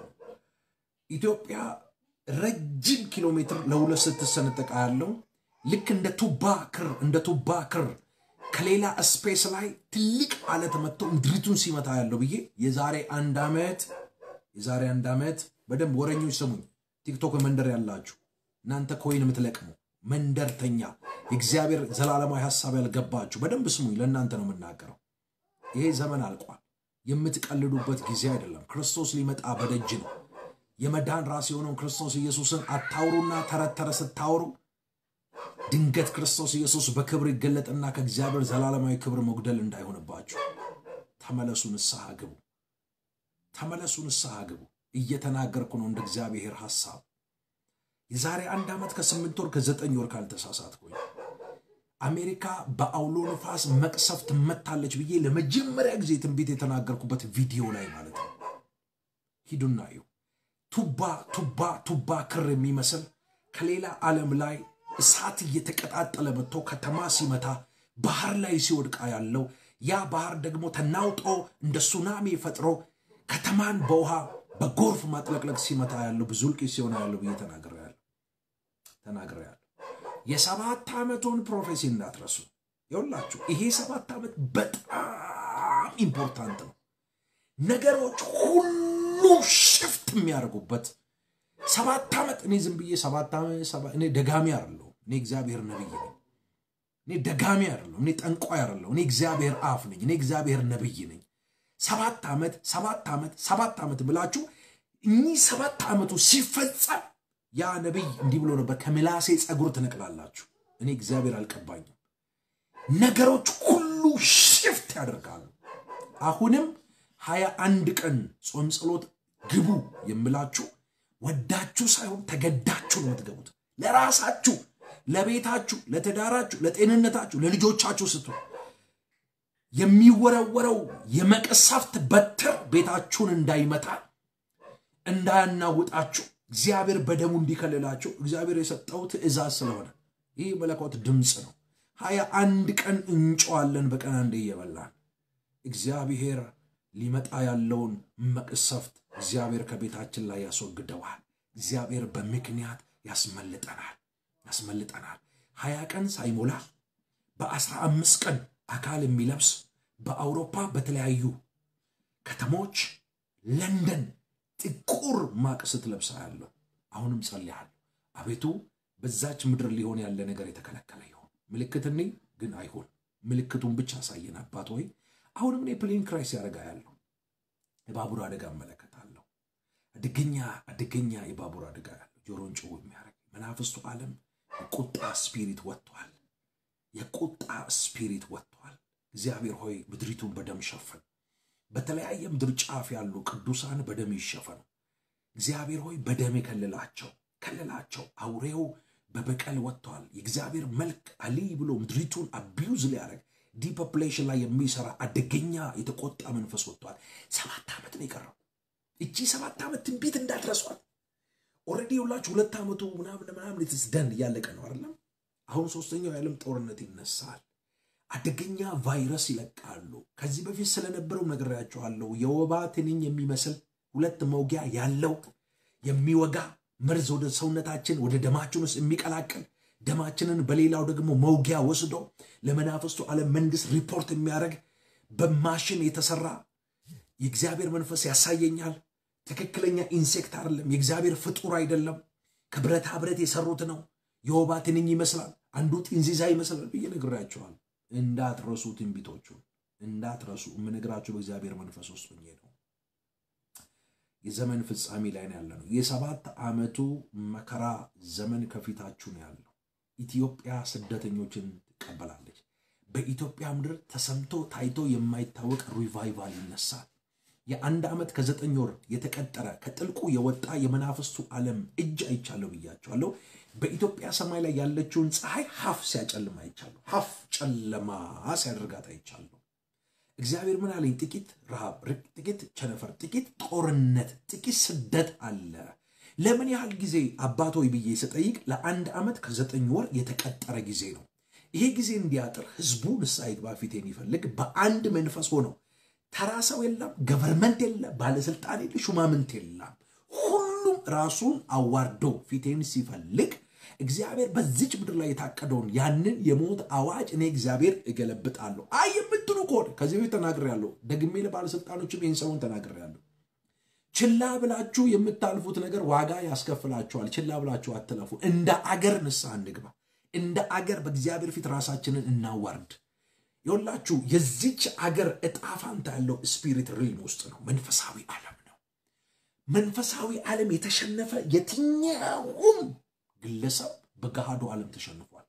መንፈስ ዓለም ላይ ድል ያደረገ በመንፈስ ዓለም ሞገስ የጠገበ ሰው በዚህ ምድር ላይ success ማድረግ ይችላል። በሄደበት ስራ ሁሉ ይከናወንለታል። ስለዚህ መንፈሳዊ ዓለም ላይ እየተበላሸ ያለ ነገር አለ። መንፈሳዊ spirit realm ውስጥ እየተዛባ ያለ ነገር አለ። by the way ሁላችሁ spirit realm ን discern ማድረግ የማይችል ግለሰብ የማያቅ ነቢይ የማያሸጥ የተቀባ እግዚአብሔር ሰው መፍትሄ ለቤተ ክርስቲያን መፍትሄ ለምድር መሆን አይችልም። ስለዚህ እግዚአብሔር እንደ ባለ መድኃኒት ከጠራን እግዚአብሔር መፍትሄን በእኛ ካስቀመጠ ልትሰሙ ግድ ነው። ልትበቃ አማራጭ የላቸውም። የተቀቡትን መስማት አለባቸው። የተቀቡ ሰዎች ሊደመጡ ሊሰሙ ግድ ነው። እግዚአብሔር በእነሱ በኩል መድኃኒትን ስላስቀመጠ እግዚአብሔር እስራኤልን በነቢይ መራው ነው የሚለው። በነቢይ መራው። በነቢይ ብቻውን እግዚአብሔር እስራኤልን መራው። ብቻውን በነቢይ እጅ መራው። እንዲሰራልህ ከፈለክ እንዲከናወንልህ ከእግዚአብሔር ሀሳብ ጋር ህብረት ማድረግ መቻል አለም። ስለዚህ አሁንም እየተናገርኩ ነው፣ እንደ እግዚአብሔር ሀሳብ እየተናገርኩኝ ነው። አስራ አምስት ቀን መዝግቡና ያዙ። ምናልባት ከዛም ሊፈጥን ይችላል። ጆሮ ጭው የሚያደርግ ነገር አልጀዚራ፣ ቢቢሲ፣ ሲኤንኤን ኒውሶች በጠቅላላ ያራግቡታል።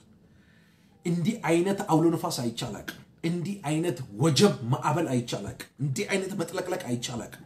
እዚህ ጎጆ ቤት ውስጥ ተቀምጬ ዓለም ላይ አውሮፓ የሚሆነው ነገር አሁን እያየው እየነገርኩ ነው። አይኔ እንዲህ ተከፍተው በመንፈስ ዓለም እያየው ነው። በስጋ አይኔ ማየው ምንም ነገር የለኝም። ምናልባት እዚህ ጋር የምጽፉትን comment ማየው የልቦና አይኔ ስለበራ መንፈስ ዓለም እግዚአብሔር የሚያየውን ስለማይ ነው። ይላችሁ God is almighty God እግዚአብሔር ሉዓላዊ አምላክ ነው። እግዚአብሔር በሁሉ ቦታ all time exist ያደርጋል፣ ይኖራል፣ አለ፣ ሁሌም አለ። ዓለም ሳይኖር እግዚአብሔር ነበረ። በእግዚአብሔር ዓለም ካላችሁ በእግዚአብሔር ዓለም እግዚአብሔር የሚያየውን ሁሉ ማየት ትችላላችሁ። በእግዚአብሔር ዓለም የሌለ ሰው ነው በስጋ የሚያየው። በስጋ የማየው ነገር ደግሞ የለም። በመንፈስ የማየውን እየነገርኳችሁ ነው ያለው። ስለዚህ ሀያ አንድ ቀን መንፈስ ቅዱስ ጌታ እግዚአብሔር ፊቱን እንድንፈልግ ለሀያ አንድ ቀን ጾምና ጸሎት እንድንገባ ምሽግ እንድናረግ ጨጓራችን እንዲታሰር እንድንቃትት ለነገስታቶች ለምድራችን አሁን በፌዴራል መንግስትና በፋኖ መካከል እየተደረገ ያለው ጦርነት እግዚአብሔር ጣልቃ እንዲገባ ደም እንዳይፈስ እግዚአብሔር በቃ እንዲለን ይህን የጦር ድምፅ የማንሰማበት ዘመን እንዲያመጣ የኢትዮጵያ ትንሣኤ እንዲቸኩል እንዲፈጥን እግዚአብሔር ምድራችንን እንዲያስብ በምድራችን ለዘመናት የከበደ ቀንበር እንዲሰበር ይሄ የነፍስ መስዋዕት የሚወስድ የሉሲፈር ስፒሪት ከምድራችን እንዲመታ አከርካሪው እንዲሰበር ተስፋ እንዲቆርጥ ምድሪቱን፣ አየሩን፣ ተራራውን፣ ሸለቆን በእግዚአብሔር ደም እየረጨን በመለኮት እሳት እያነደድን ከእግዚአብሔር ጋር ሀያ አንድ ቀን እንድንጸልይ እግዚአብሔር ይህንን አዟል። አሁን እዚህ ጾም ጸሎት ላይ የነገርኳችሁ ነገር አለ። ምንድን ነው የነገርኳችሁ ነገር? እኔ ከዚህ በፊት የዛሬ ሰባት ዓመት አካባቢ ማሬ ዘይቱን አንዴ ታገብኛለሽ ለህዝቡ ማሳየት ስላለብኝ ሁለቱንም የጠርሙስና ይቺ የእቃዋን መኝታ ቤት አስቀምጨው ስለነበረ ለማንም ሰው ሰጥቼ አላቅም። ማንም ሰው በጣም special ብዙ ጊዜ ያው ሚዲያ ላይ ስለምናገር በጣም strict ለሆነ ነገር ነው ያንን ዘይት የምጠቀመው። የዛሬ ሰባት ዓመት አካባቢ እግዚአብሔር እድል ሰጥቶኝ mountain ላይ ለአርባ ቀን ጾም ጸሎት፣ ያኔ ያው ጸጋው ረድቶኝ እግዚአብሔር አግዞኝ ከኔ የሆነ ምንም ስለሌለ ያኔ ያንን ዘይት ይዤ ወጥቼ በተራራ ላይ በእግዚአብሔር ፊት ኡኡ ብዬ ጸልያለሁ። እግዚአብሔር ወይ ወይ ቀባኝ ወይ ውሰደኝ። ተራ ሰው መሆን አልፈልግም። እግዚአብሔር በቃኝ። ብዙ ዘመን መናፍስቱን ዓለም መንግስት አገልግያለሁ። አሁን ደግሞ አንተን ማገልገል እፈልጋለሁ። በእግዚአብሔር ፊት ጸልያለሁ። ያ ዘይት ለተአምር ይገራል። ከዕቃ ወደ ዕቃ ከዕቃ ወደ ዕቃ እየገለባበጥኩት ማለት ነው። ያንን ዘይት ይይዝና የተጸለየበት ዘይት ስለሆነ ይይዝና ለሶስት ሺህ ሰዎች አሁንም ስሙኝ፣ ከኔ ጋር ናችሁ? ይሰማችኋል? ዝናሽ ይሰማል። ዘመናችሁ ይባረክ። ገዛኸኝ ወንድሜ፣ ዘመን ይባረክ። እግዚአብሔር ከእናንተ ጋር ነው። አሁን እግዚአብሔር እንዴት ቀንበርን ከቤታችን እንደሚሰብር ይኸውላችሁ። ጸልየን መልስ ያጣን ሰዎች፣ ጮህን ምላሽ ያጣን ሰዎች፣ ነገር አልሳካ ያለን ጭንቀፋ ያለን ሰዎች already ከግንዱ ጋር አልተጣበቅንም ግንዱ የነገር ሁሉ resource ነው። ከግንዱ ጋር ተጣብቀን በራሳችን ፍሬ ማፍራት እንደማንችል understand አድርገን ከግንዱ ጋር ተጣብቀን ግንዱ በሚሰጠን ማናቸውም ግብአት እኛ ፍሬ ማፍራት እንችላለን እንችላለን። thank you ዳንኤልዬ፣ ይሰማል ስላልከኝ አመሰግናለሁ። ሳምሶን ዘመናችሁ የተባረከ ይሁን። በጣም ነው የምወዳችሁ። ያቺ እቃዋንም ስጭኝ። thank you አቢጊ፣ ተባረኪልኝ። ይሄ ይሄ እኔ ጋ ለረጅም ረጅም ጊዜ የተቀመጠ almost seven years seven years seven years ኢየሱስ ክርስቶስ ጌታ ከዕቃ ወደ ዕቃ ከዕቃ ወደ ዕቃ ከዕቃ ወደ ዕቃ ከዕቃ ወደ ዕቃ እየገለባበትኩ የገለባበትኩ እኔ ጋር ያስቀመጥኩት oil ነው፣ የተጸለየበት ዘይት ነው። ይሄ ዘይት already ይኸውላችሁ እዚህ ውስጥ አለ። ይሄ መቶ ml ነው፣ መቶ ml ነው። ይሄ እዚህ ውስጥ መቶ ML already ዕቃውን ተጠቅሜው ነው። ይሄ ዕቃ የሌላ ዕቃ ነበር። ይሄ መቶ ML ነው፣ መቶ ሚሊ ሊትር ማለት ነው። ለአንድ ሰው ለአንድ ግለሰብ መቶ ML ነው የምሰጠው ለአንድ ግለሰብ ልክ እንደዚህ መቶ ML መቶ ML ሶስት ሺህ ሰዎችን address ማድረግ እፈልጋለሁ። እንደምታውቁት እኔ ወንድማችሁ prophet ጆሲ ዘይት የሚባል ነገር አልሸጥም። በህይወት ዘመኔ እዚህ ምድር ላይ እስካለው ድረስ እኔ ዘይት አልሸጥም፣ ቲሸርትም አልሸጥም፣ guest house የሚባል ነገር አልከፍትም። guest house መክፈት ኃጢአት ነው እያልኩ አይደለም። ቲሸርት መሸጥ ኃጢአት ነው እያልኩ አይደለም። ዘይት መሸጥ ኃጢአት ነው እያልኳችሁ አይደለም። የኔ አቋም ነው። አቋሜን ደግሞ ነው ያልቀይረው። እኔ ታውቃላችሁ የአቋም ሰው ነኝ። አቋሜን በምንም አይነት ተአምራት አልቀይረም። የእኔ አቋም በርቶለት ገብቶት ከኔ አቋም ጋር ህብረት የሚያደርግ ከኔ ሀሳብ ጋር የሚስማማ የእኔ ሀሳብ የእግዚአብሔር ሀሳብ ስለሆነ ማለት ነው። ያ ሰው ብቻ ከኔ ጋር ይቀጥላል። የኔ አስተምሮ፣ የኔ አገልግሎት፣ እኔ ጋር ያለው የመለኮት ድምፅ የማይስማማው ሰው ብሎክ አድርጎኝ ዘግቶ ስልኩን ብሎክ አድርጎኝ መውጣት ይችላል። የሚያዋጣው ሰፈር መሄድ ይችላል። መልከስከስ እኔ በቃ ጀኒውንሊ ፊት ለፊት ነው የምናገር። ስለዚህ ይሄንን ለሶስት ሺህ ሰዎች መስጠት እፈልጋለሁ። ይሄ ትላንት ወጥቼ ነበረ ወደ market ጥናት እያደረግኩ ነበረ እና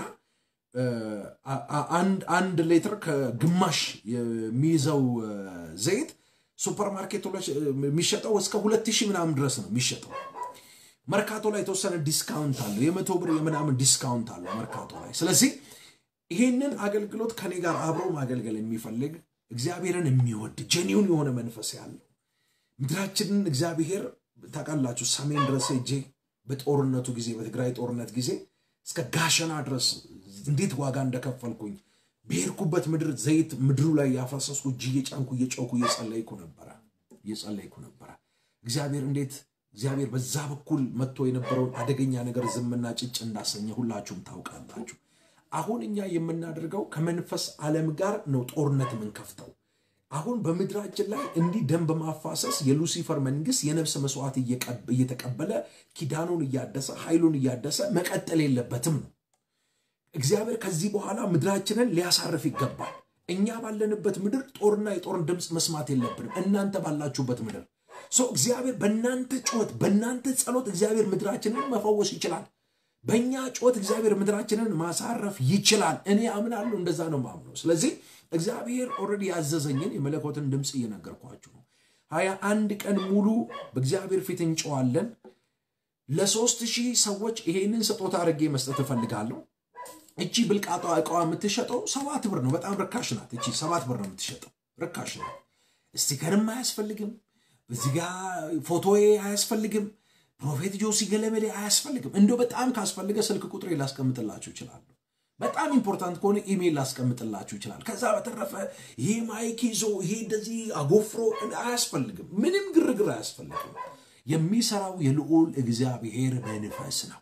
እኔ ተራ ተራ ተራ ያውም የተራ ተራ ተራ ተራ ዱርዬ ወንበዴ የነበርኩ ሰው ነኝ። በክርስቶስ ኢየሱስ ስራ በማመን ብቻ የጸደቁ ሰው ነኝ። እኔ የኔ ጽድቅ የመርገም ጨርቅ እንደሆነ ጥንት ነው የበራልኝ። ጌታ ኢየሱስ የተባረከ ይሆን። ስለዚህ ይህንን የምናገረው ለእናንተም ጥቅም ጭምር ስለሆነ እኔ እግዚአብሔር ይባረክ የተወሰነ ነገር እኔ involve አደርጋለሁ። በተለያየ ምድር ጫፍ የምትገኙ ዘይቱ በጣም ውድ ስለሆነ ዘይቱን የምንገዛበትን ነገር ለሌሎች ለሌላቸው ሰዎች ቸርነት ለማድረግ ስለ ዘይት ስለማንሸጥ ማለት ነው። ዘይት የሚባል አንሸጥም። አሁንም የተንሻፈፈ አሰማም እንዳሰሙኝ በክርስቶስ ፍቅር እጠይቃቸዋለሁ። ዘይት የሚባል እኔ ወንድማችሁ prophet ጆሲ አልሸጥም። ቲሸርት አልሸጥም። guest house አልከፍትም። ጨው የሚሸጥ ጨው የለንም የለንም። እኛ ጨው እዛ ኤርታሌ አፋር መሄድ ትችላላችሁ፣ ጨው የምትፈልጉ ሰዎች። ስለዚህ የእግዚአብሔር ቃል genuine ነው። የእግዚአብሔር ቃል መድኃኒት ነው። ከእናንተ መካከል የታመመ ሰው ካለ የቤተክርስቲያን ሽማግሌ ይጥራና የቤተክርስቲያን ሽማግሌ ዘይት ቀብቶ እጅ ጭኖ ይጸልይለት ነው የሚለው። ኃጢአቱም ይሰረይለታል የሚለው እግዚአብሔር ደግሞ ደዌውን ከሱ ይነቅላል ስለዚህ በእግዚአብሔር ቃል መሰረት ነው የምጸልየው። ስለዚህ ይህንን ዘይት ለእናንተ በነፃ መስጠት ስለምፈልግ በነፃ ማዳረስ ፈልጋለሁ። በተለያየ ምድር ነው የምትኖሩት። I know ሳውዝ አፍሪካ፣ በአረብ ሀገር አላችሁ፣ በአውሮፓ፣ በካናዳ፣ አውስትራሊያ፣ በአሜሪካ በተለያየ state ነው ያላችሁት። I know ኢትዮጵያም በአራቱም ማዕዘን በተለያየ ምድር ነው ያላችሁት። ነገር ግን እናንተ ፈጥናችሁ ይሄን ነገር ካደረጋችሁ ለሶስት ሺህ ሰዎች ዘይቱን ይሄን መቶ ML ስሰጥ በጣም ብዙ ሌትር ዘይት ነው ወደ አራት መቶ ምናምን ሺህ ብር በላይ ነው calculate ሳደርገው የሚፈጀው ማለት ነው። ስለዚህ በዚህ በጎ ስራ ላይ መልካም ስራ ላይ እኔ በማደርገው contribute በማደርገው አንድ ሰው ዘይት እንዲደርሰው በነፃ ምክንያት መሆን እፈልጋለሁ የሚል የክርስቶስ ልብ ያለው ክርስቶስን የሚወድ ሰው ቸርነት ማድረግ መቁረስ ማካፈል የሚፈልግ ሰው ከላይ account አስቀምጥለታለሁ። እዛ ላይ drop ያደርጋል። ዘይቶቹን እገዛለሁ፣ እቃውን እገዛለሁ፣ ዘይቱን በዛ አስቀምጣለሁ። የተጸለየበትን ይሄኛውን ዘይት እዛኛው ዘይት ላይ እቀላቅልና እናንተ እዚህ ወገኖች ያላችሁ ዘመድ ያላችሁ ቤተሰብ ያላችሁ እህት ወንድም ያላችሁ ሰዎች እኔን contact እንዲያደርጉኝ ታደርጋላችሁ። ከዛ ምንድን ነው ማድረገው? አንድ ስልክ አዲስ ሲም ካርድ ነገ አወጣለሁ፣ ሌላ ስልክ ማለት ነው። አወጣና ያንን ስልክ ለዘይት አገልግሎት ብቻ በነፃ ዘይቱን ለመውሰድ የምትፈልጉ በዛ ቁጥር ብቻ ትደውሉልኛላችሁ ማለት ነው። ስልኩን ከላይ አስቀምጥላችኋለሁ። በዛ ትደውላላችሁ። ወገኖቻችሁን ዘመዶቻችሁን መላክ ትችላላችሁ። መኪናዬ ውስጥ ከኋላ ሶስት ሺህ ዘይቱን ማስቀምጣለሁ። እናንተ ለምትልኩት ሰው እኔን contact ለሚያደርገኝ ሰው ያንን ዘይት በታማኝነት ወስጄ ዘይቱን እሰጠዋለሁ። ያንን ዘይት ወስዶ እናንተ ለምትፈልጉት ግብአት ማዋል ይችላል ማለት ነው። ተግባብተናል። ጌታ ኢየሱስ ዘመናችሁን ይባርክ። በጣም ነው መወዳችሁ፣ በጣም ነው ማከብራችሁ። ጸጋና ሰላም ከእናንተ ጋር ይሁን። ደጆች ይከፈቱላችሁ፣ ራስ እንጂ ጅራት አትሁኑ። ሐሳቤን ይህንን ሐሳብ ሳልጨርስ ሐሳብ ያለው ሰው ካለ ሐሳባችሁን በጣም በቅንነት መቀበል እችላለሁ። ሐሳብ ካለ ዘይት አንሸጥም። ሶስት ሺህ ሰዎችን address ማድረግ እፈልጋለሁ። ለምን prophet ጆሲ ሶስት ሺህ ሰው ብቻ ከዛ በላይ ስጥ ምትሉኝ ሰዎች ካላችሁ involve አድርጉ፣ ቸርነት አድርጉ። በልባችሁ የሞላውን የሚሰጥ ሰው በልግስና ይስጥ ስለሚል የእግዚአብሔር ቃል እናንተ የምትሰጡት ስጦታ አንድ ዘይትም by the way ዘይቱን ገዝታችሁ መላክ ትችላላችሁ። እግዚአብሔር ይባርካችሁ። it's not about money ብር ብቻ ሳይሆን ዘይቱን ይህንን ራሱ ዘይቱን ገዝታችሁ እንደዚህ ዘይቱን ይዞ የሚመጣ ሰው ካለ ዘይቱንም ልትሰጡኝ ትችላላችሁ። ዘይቱንም እቀበላለሁ። ገነት እየተባረኪ ዘመናችሁ ይባረክ። by the way መስጠት አምልኮ እንደሆነ ታውቃላችሁ አይደል? የምትሰጡት ደግሞ ስጦታ ጥላውን እየተባረክልኝ thank you so much የምትሰጡት የትኛውም ስጦታ በልዑል እግዚአብሔር ፊት የተወደደ መዓዛ ሽታ ሆኖ መቃጠል አለበት። በድሮ ዘመን ታውቃላቸው እነዚህ አባቶቻችን ይሄ ጠገራ ብሩንም ምኑንም ምኑንም ወርቃቸውንም ምናምን ምናምን የከበረውንም ነገር ሁሉ የሚያስቀምጡት ከርሰ ምድር ውስጥ ነው እየቀበሩ የሚያስቀምጡት። አይደለም አለው ከኔ ጋር ናቸው አረ እና ጎተራ የሚባል ነገር አለ። እንግዲህ ያው እንዳውም እዚህ አዲስ አበባ ላይ ጎተራ ሰፈር የሚባል የተሰየመ ሰፈር ሁሉ አለ በደርግ ጊዜ ጎተራ ስለነበረ የእህል ጎተራ እዛ ስለሚቀመጥ ማለት እና ኢየሱስ ክርስቶስ እዛ ጎተራ ውስጥ የሚያስቀምጡትን ነገር ካየ በኋላ ኢየሱስ የሚገርም ነገር ተናገራቸው ይሄ ጎተራውን አላቸው ብል ይበለዋል አላቸው ብል ይበለዋል ይሄ የምታስቀምጡንም ጠገራውንም ብሩንም ዝገት ሊያጠፋው ይችላል አለ። ነገር ግን ብልም ዝገትን በማያጠፉት በላይ በሰማይ መዝገብ ሰብስቦ አላቸው። መዝገቡ ባለበት በዚያ ልባችሁ ይኖራል አላቸው። አያችሁ፣ ከእግዚአብሔር ጋር የማያከማች ሁል ጊዜ ይበትናል ይበትናል። እግዚአብሔር ለሚፈልገው ነገር መገኘት ትልቅ ጥበብ ነው ብዬ አምናለሁ። እግዚአብሔር እኮ ወደ አቤልና ወደ መስዋዕቱ ተመለከተ ይልና ወደ ቃይልና ወደ መስዋዕቱ ግን እግዚአብሔር አልተመለከተም ይላል። በጣም የሚገርም ቃል ነው። እግዚአብሔር የሚወደው የሚቀበለው መስዋዕት አለ። በእግዚአብሔር ፊት የተወደደ መዓዛ ሽታ ሆኖ የሚቃጠል መስዋዕት አለ። እግዚአብሔር ደስ ብሎት የሚቀበለው ታዲያ እግዚአብሔር መስዋዕትሽን ተቀብሎ እግዚአብሔር መስዋዕትን ተቀብሎ ዝም የሚል አምላክ ይመስላችኋል? ማንም ሰው እኮ ለእግዚአብሔር እኔ እኮ ለእግዚአብሔር እንደዚህ አድርጌ ለእግዚአብሔር እንደዚህ ወንድም እነግርሃለሁ። መዝሙረ ዳዊት ምዕራፍ ሀምሳ ከቁጥር ሰባት ጀምሮ አንብበው። በሺህ ተራሮች ላይ ያሉ እንስሳት ሁሉ የእግዚአብሔር ናቸው። እግዚአብሔር በዘመናት ሁሉ መካከል ከማንም ምንም ተቀብሎ አያውቅም። እግዚአብሔር ሉዓላዊ አምላክ ነው። ለእግዚአብሔር ስትሰጥ የምትሰጠው ለሉዓላዊነቱ። አንተ ሉዓላዊ ነህ፣ አንተ ገዢ ነህ፣ አንተ የበላይ ነህ፣ አንተ አዳኝ ነህ፣ አንተ ንጉሥ ነህ፣ አንተ ሊቀ ካህን ይገባሃል ብለህ ነው የምትሰጠው ለእግዚአብሔር። አይ እውቅና ነው የምትሰጠው፣ ገዢነቱን፣ ጌትነቱን፣ አምላክነቱን፣ መፈራቱን አይ በመስጠት ውስጥ ነው፣ በመታዘዝ ውስጥ ነው የእግዚአብሔርን ሉዓላዊነት በአደባባይ የምታጮው በመስጠት ውስጥ ነው። እዛ ውስጥ ነው ብለሲንግ ያለው። ብለሲንግ እዛ ውስጥ ነው ያለው። መዝሙረ ዳዊት ምዕራፍ 50 እስቲ ግለጡና በጣም የሚገርም ቃል ታገኛላችሁ። በጣም ለእግዚአብሔር የሆነ ነገር የሚያደርጉ የሚመስላቸው ሰዎች እኔ እንደዚህ አድርጌ በጣም ብዙ ሰዎች እንደዛ ስለምትሉኝ ነውና ኖ ከእንደዚህ አይነት በጣም የተንሻፈፈ ሳቢ መውጣት መቻል አለባችሁ። እግዚአብሔር በእንደዚህ አይነት ነገር አይከብርም። መዝሙረ ዳዊት መዝሙረ ዳዊት ምዕራፍ 50 ምዕራፍ 50 ከቁጥር ሰባት ጀምሮ በጣም ድንቅ የሆነ እግዚአብሔርን ቃል ታገኛላችሁ። ከቁጥር ሰባት ጀምሮ እንደዚህ የሚል ቃል ሕዝቤ ስማኝ ልንገር፣ እስራኤል ስማኝ ልመስክርብህ። አምላክስ እኔ አምላክ ነኝ ይልና ስለ ቁርባነ የምዘልፍ አይደለሁም፣ የሚቃጠል መስዋዕትህ ሁል ጊዜ በፊቴ ነው። ከቤት ፍሪዳን ከመንጋህም አውራ ፍየልን አልወስድም።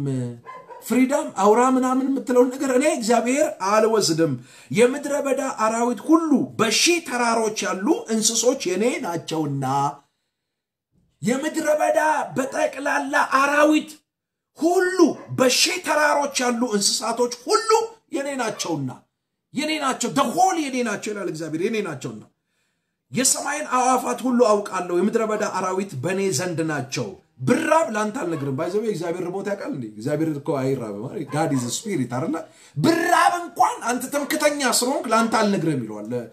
ለዕብራውያን ነው እንደዚህ የሚላቸው። ለእስራኤላዊ ለቃል ኪዳን ህዝብ ነው። ቢርበኝ እንኳን እኔ እግዚአብሔር እኔ መንፈስ ነኝ። እግዚአብሔር አይበላም አይጠጣም አይደል እግዚአብሔር መንፈስ ነው። ግን ቢርበኝ እንኳን ለእናንተ አልነግራችሁም ይላቸዋል። በጣም የሚገርም እኮ ነው። በስመ አብ። ብራብ ለአንተ አልነግርም ዓለምና ሞላው የኔ ነውና ይላል። ዓለምና ሞላው የኔ ነውና የፊርዳን ስጋ እበላለሁን? የፍየልን ደም እጠጣለሁን? ለእግዚአብሔር የምስጋናን መስዋዕት ሰዋ። ለልዑል ስዕለትን ስጥ። በቃ የምስጋና መስዋዕት ሰዋለት ለእግዚአብሔር። ስዕለትን ስጠው ለእግዚአብሔር። እድል ነው ለክርስቲያን ለአማኝ ሰዎች። ጳውሎስ እንደዚህ ያላችሁ ስቀበላችሁ የምቀበላችሁ ለእኔ ሳይሆን ለራሳችሁ ጥቅም ብዬ ነው የሚል ቃል ታገኛላችሁ በመስጠትና በመቀበል ውስጥ ያለው ስሌት ስለገባኝ እኔ አልቀበልም ብላችሁ እንኳን የእናንተ በረከት ነው የሚያዘው። ስለዚህ ለእኔ ሳይሆን ለራሳችሁ ጥቅም ስል እኔ ጳውሎስ እቀበላችኋለሁ ይላቸዋል ስለዚህ ይሄ በጣም እድል ስለሆነ በእግዚአብሔር ፊት አምልኮም ጭምር ስለሆነ ሉዓላዊ ፈጣሪ ገዢ አምላክ መጋቢ የሆነውን እግዚአብሔር worship የምታደርግበት መንገድ አንዱ መስጠትም ጭምር ስለሆነ የዚህ እድል ተካፋይ መሆን ትልቅ opportunity ነው እና ስለዚህ እኔ ዘይት አልሸጥም። የሚሸጥም ዘይት በቤተ ክርስቲያናችን ደረጃ የለንም።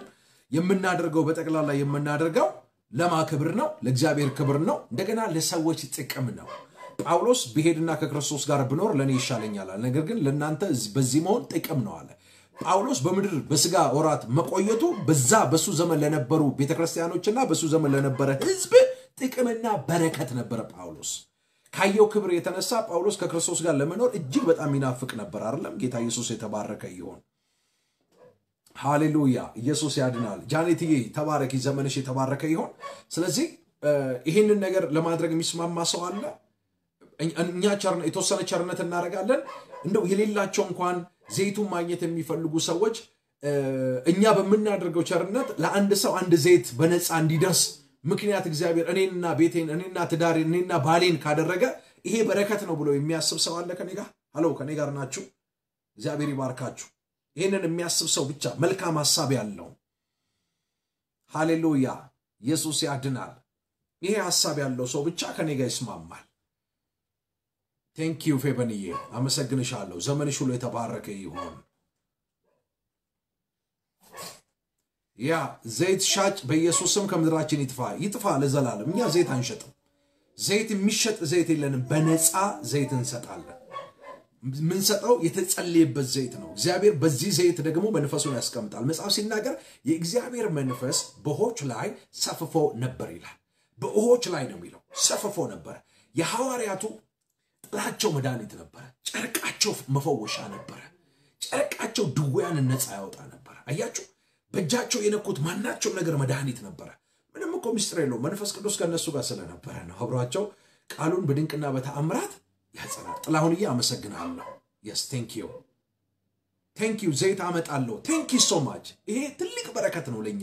አሁን ምንድን ነው ቸርነት እናድርግ ነው። ለምንድን ነው ግን ይህን እየተናገርኩ ያለሁት? by the way የምናገርበትን ዓላማ እንዳትስቱ በክርስቶስ ፍቅር ጠይቃችኋለሁ። አሜሪካ ሰራሽ የሆነ ይውላችሁ፣ ባለፈው ተናግሬአለሁ፣ ዛሬ እየደገምኩ አሜሪካ ሰራሽ የሆነ his name is ፕሮፌሰር ቶማስ። ይሄ ፕሮፌሰር ቶማስ የሚባል ሰውዬ በሱ አማካኝነት አዲስ የኮሮና ቫይረስ ተሰርቶ አልቋል። አየሩ ላይ ይበተናል። ቀነ ቀጠሮ እየተጠበቀለት ነው። ለፕሮባል check ለማድረግ የተለያዩ ቦታዎች ላይ በታትነውታል።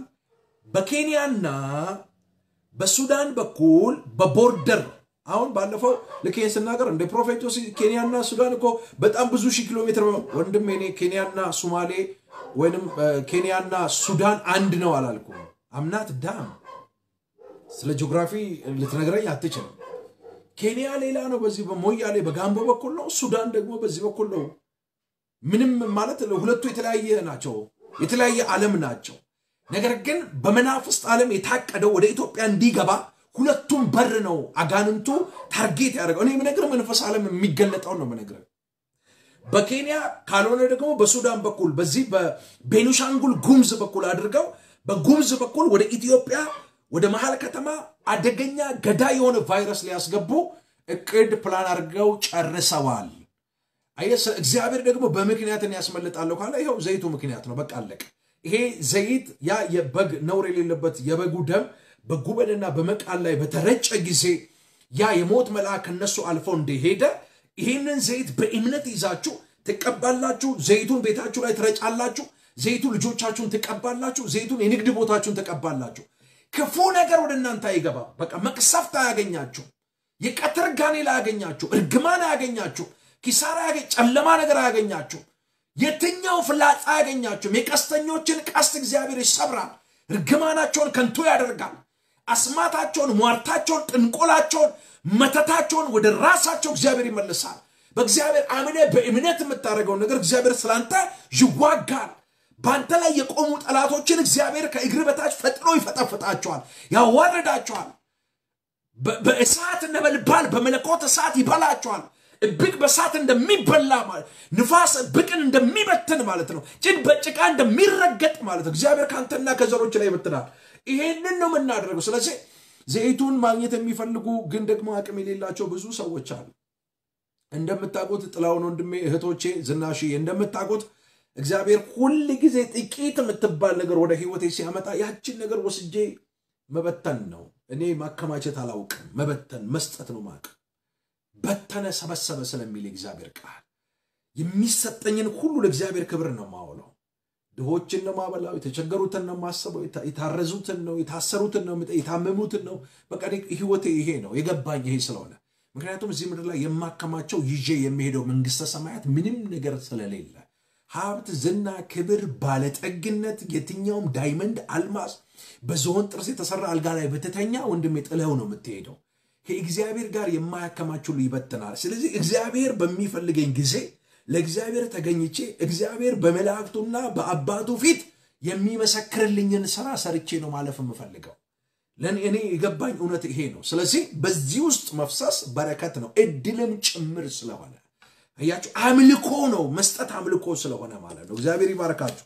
ዘመናችሁ ላይ የተባረከ ይሁን። ከላይ ቤተክርስቲያን account አስቀምጥላችኋለሁ። እንዳትሳሳቱ፣ ብዙ ሌባና አጭበርባሪዎች ስላሉ በዚህ ጉዳይ ላይ ዘር መዝራት የምትፈልጉ ሰዎች፣ ሸክሙ ያላችሁ ሰዎች ዋትሳፕ ላይ፣ ቴሌግራም ላይ እንደዚሁም ቫይበር ላይ ደውላችሁ video call እኔን ማግኘት ትችላላችሁ። ከኔ ጋር ካወራችሁ በኋላ በልባችሁ የሞላውን ነገር ማድረግ ትችላላችሁ። እንዴት አድርገን እንዴት አድርገን እዚህ እኔ ኢትዮጵያ አዲስ አበባ ነው ያለሁትኝ እንዴት አድርጌ ነው ዘይቱን ማግኘት የምችለው የምትሉ ሰዎች እንዴት አድርጌ ዘይቱን ወደ እናንተ ማድረስ እንዳለብኝ ሀሳብ ካላችሁ ሀሳባችሁን አካፍሉኝ። የጋራ ሀሳብ ስለሆነ የጋራ ሀሳብ እንደ ቤተሰብ ስለምናወራ እንደ ታላቅ እንደ ታናሽ እንደ እህት እንደ ወንድም ስለምናወራ እግዚአብሔር ቢረዳኝ በቅርብ ጊዜ office ም ለመከራየት አስቤያለሁ። ያኔ ቦሌ ማፊ ሞል ላይ ቢሮ office እንደነበረኝ ታውቃላችሁና እዛ office ላይ በጣም ብዙ ሰዎች እየመጡ ከእስራት ይፈቱ ነበረ። እዛ office ላይ ብዙ ሰዎችን እግዚአብሔር ያጽናና ነበረ። በቀን 30 40 ሰው አገኝ ነበር፣ የምክር አገልግሎት እሰጥ ነበረ እና ነገር ግን ብዙ ሰዎች ወደ እኔ ሲመጡ አንዳንድ አጋንንት ያለበት አጋንንት ይጮህ ነበረ።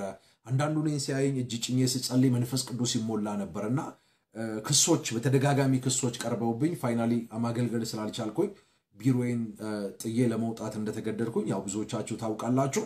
አሁን ደግሞ በምኖርበት አካባቢ ጌታ ቢረዳኝ office ተከራይቼ በዛ office ደግሞ personal እኔን ማግኘት የምትፈልጉ ሰዎች personal እንዲጸልይላችሁ የምትፈልጉ ሰዎች እየመጣችሁ ከኔ ጋር contact የምታደርጉበትን ቆንጆ office በቅርብ ጊዜ ለእናንተ ይፋ አደርጋለሁ። እግዚአብሔር ይረዳኛል። በዛም ላይ ደግሞ አብራችሁን ቆማችሁ እግዚአብሔርን በጎ ስራ ትሰራላችሁ ብዬ ተስፋ አደርጋለሁ። so ይሄንን ዘይት እንዴት አድርገን ነው የምናደርሰው?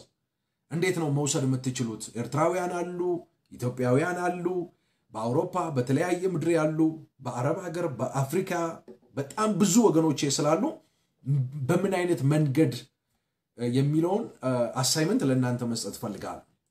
እዚህ ዘመድ ካላችሁ በዘመዶቻችሁ አማካኝነት፣ ሰው የሌላችሁ ሰዎች ደግሞ ወይ በሚመጡ እንግዶች በእነሱ እንድልክላችሁ የምትፈልጉ ሰዎች ካላችሁ በእነሱ መላክ እችላለሁ። ነገ SIM card አወጣለሁ። እቺ ትንሽዋን ስልክ እቺ ጠቅጠቅ የምትለዋን ስልክ እሷን እገዛና በዛ ስልክ ከዚህ ዘይትና ከዘይት ጋር የተገናኘ ስልክ ብቻ ነው ማስተናግደው። በቃ ለዚህ አገልግሎት ብቻ ነው ለእናንተ ብዬ ነው የምከፍተው። ይሄንን ለእናንተ ብዬ ነው የምከፍተው። ዘይቱን የምጭነው መኪና ውስጥ ነው። ሶስት ሺህ ዘይት መኪና ውስጥ ነው ማስቀምጠው። ደውሎልኝ እከሌ ይባላለው ዘይቱን ለመውሰድ ነው prophet ጆሲ የት ነህ ሲለኝ እሱ ያለበትን እጠይቃለሁ። እኔ drive ማድረግ ስለምችል ሩቅ እንኳን ከሆነ የተወሰነ ኪሎ ሜትር ጠጋ ብዬ ወደሱ ጋር ዘይቱን እጅ በመጫን ከዛ ግለሰብ ጋር ጸልዬ ባርኬ ዘይቱን እሰጣለሁ። የምሰጠው በነፃ ነው፣ በነፃ ነው የምሰጠው። ስለዚህ ይሄንን ነገር ለማድረግ እኔ ይሄንን አስቤያለሁ። እናንተ ምን ታስባላችሁ? ሀሳብ ካላችሁ ሀሳባችሁን በነፃነት የመናገር right አላችሁ። ወይንም ደግሞ በ147445 ላይ ከደወላችሁልኝ ሀሳብ ያለው ሰው ብቻ አሁን መደወል የሚችል ቫይበር ላይም ዋትሳፕ ላይም በቀጥታም ደውሎ ሀሳብ ያለው ሰው ካለ ሀሳብ መቀበል ይችላሉ። ምክንያቱም ለብቻ የመወሰነው ምንም አይነት ውሳኔ ስለሌለ የጋራ ሀሳብ ስለሆነ ማለት ነው። ይህን የማደርገው ለእናንተው ጥቅም ስለሆነ አደገኛ በአፍ በአፍንጫ ደም እያስተፋ ትኩሳት አለው፣ ሰውነት መቆረጣጠም አለው።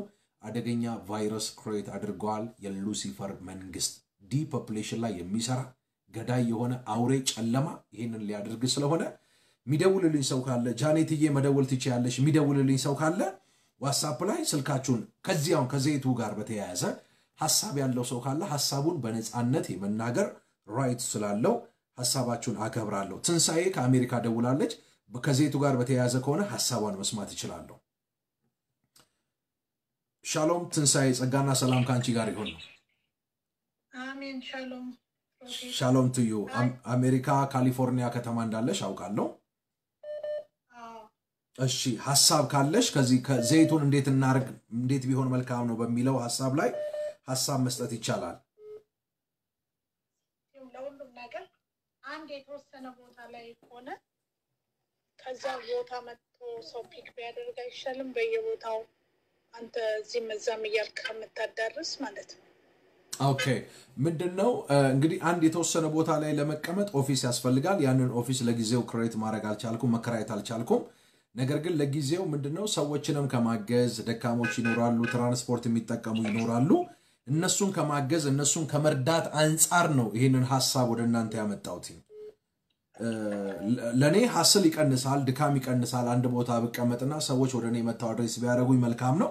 ግን ደግሞ ሰዎችንም መታዘዝ እናቶች ይኖራሉ፣ ወጣቶች ይኖራሉ፣ አባቶች፣ ሽማግሌዎች ይኖራሉና እነሱን ከማክበርም አንጻር ነው ይሄን ሀሳብ ያቀረብኩት።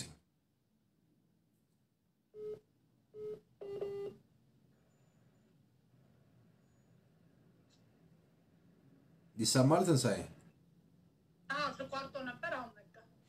ያው አዛውንቶችን፣ እናቶችን፣ አባቶችን ከማሰብ አንጻር ነው ይሄንን መልካም ሀሳብ ያሰብኩትኝ። ጥሩ። እሺ፣ እሺ። ስለዚህ መልካም ነው፣ መልካም ነው ሀሳቡ።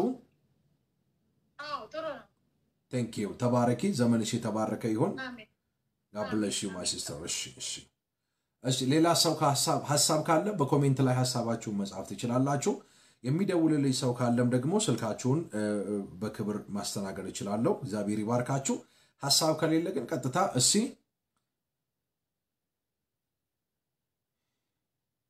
ሀሳብ ካለ ሀሳብ እንቀበላለን። በጎ ሀሳብ እዚህ ያላችሁ ክርስቲያኖች ግን እውነት ድናችኋል? ለማ በጣም ድነናል። ሁላችንም ድነናል። የዳንነው ደግሞ አንተ በምታስበው እሳቤ ሳይሆን እኛ ክርስቶስ በሰራው ስራ የዳንን ክርስቲያኖች ነን፣ በክርስቶስ ኢየሱስ ሞትና ትንሣኤ በማመን ስለዚህ እንደዚህ negative comment ለመጻፍ በጣም እጆች ጣቶች ከመቸኮላቸው በፊት ቁጭ ብለህ የእግዚአብሔርን ቃል ተማር፣ የእውነትን ቃል አድምጥ። ከዛ በኋላ ሀሳብ ስትሰጥ ሀሳብህ በጣም ቅንነትና ለማቅናት በጎነት የተሞላበት ከሆነ እንታዘዛለን፣ እንሰማሃለን። hello ጃኔትዬ፣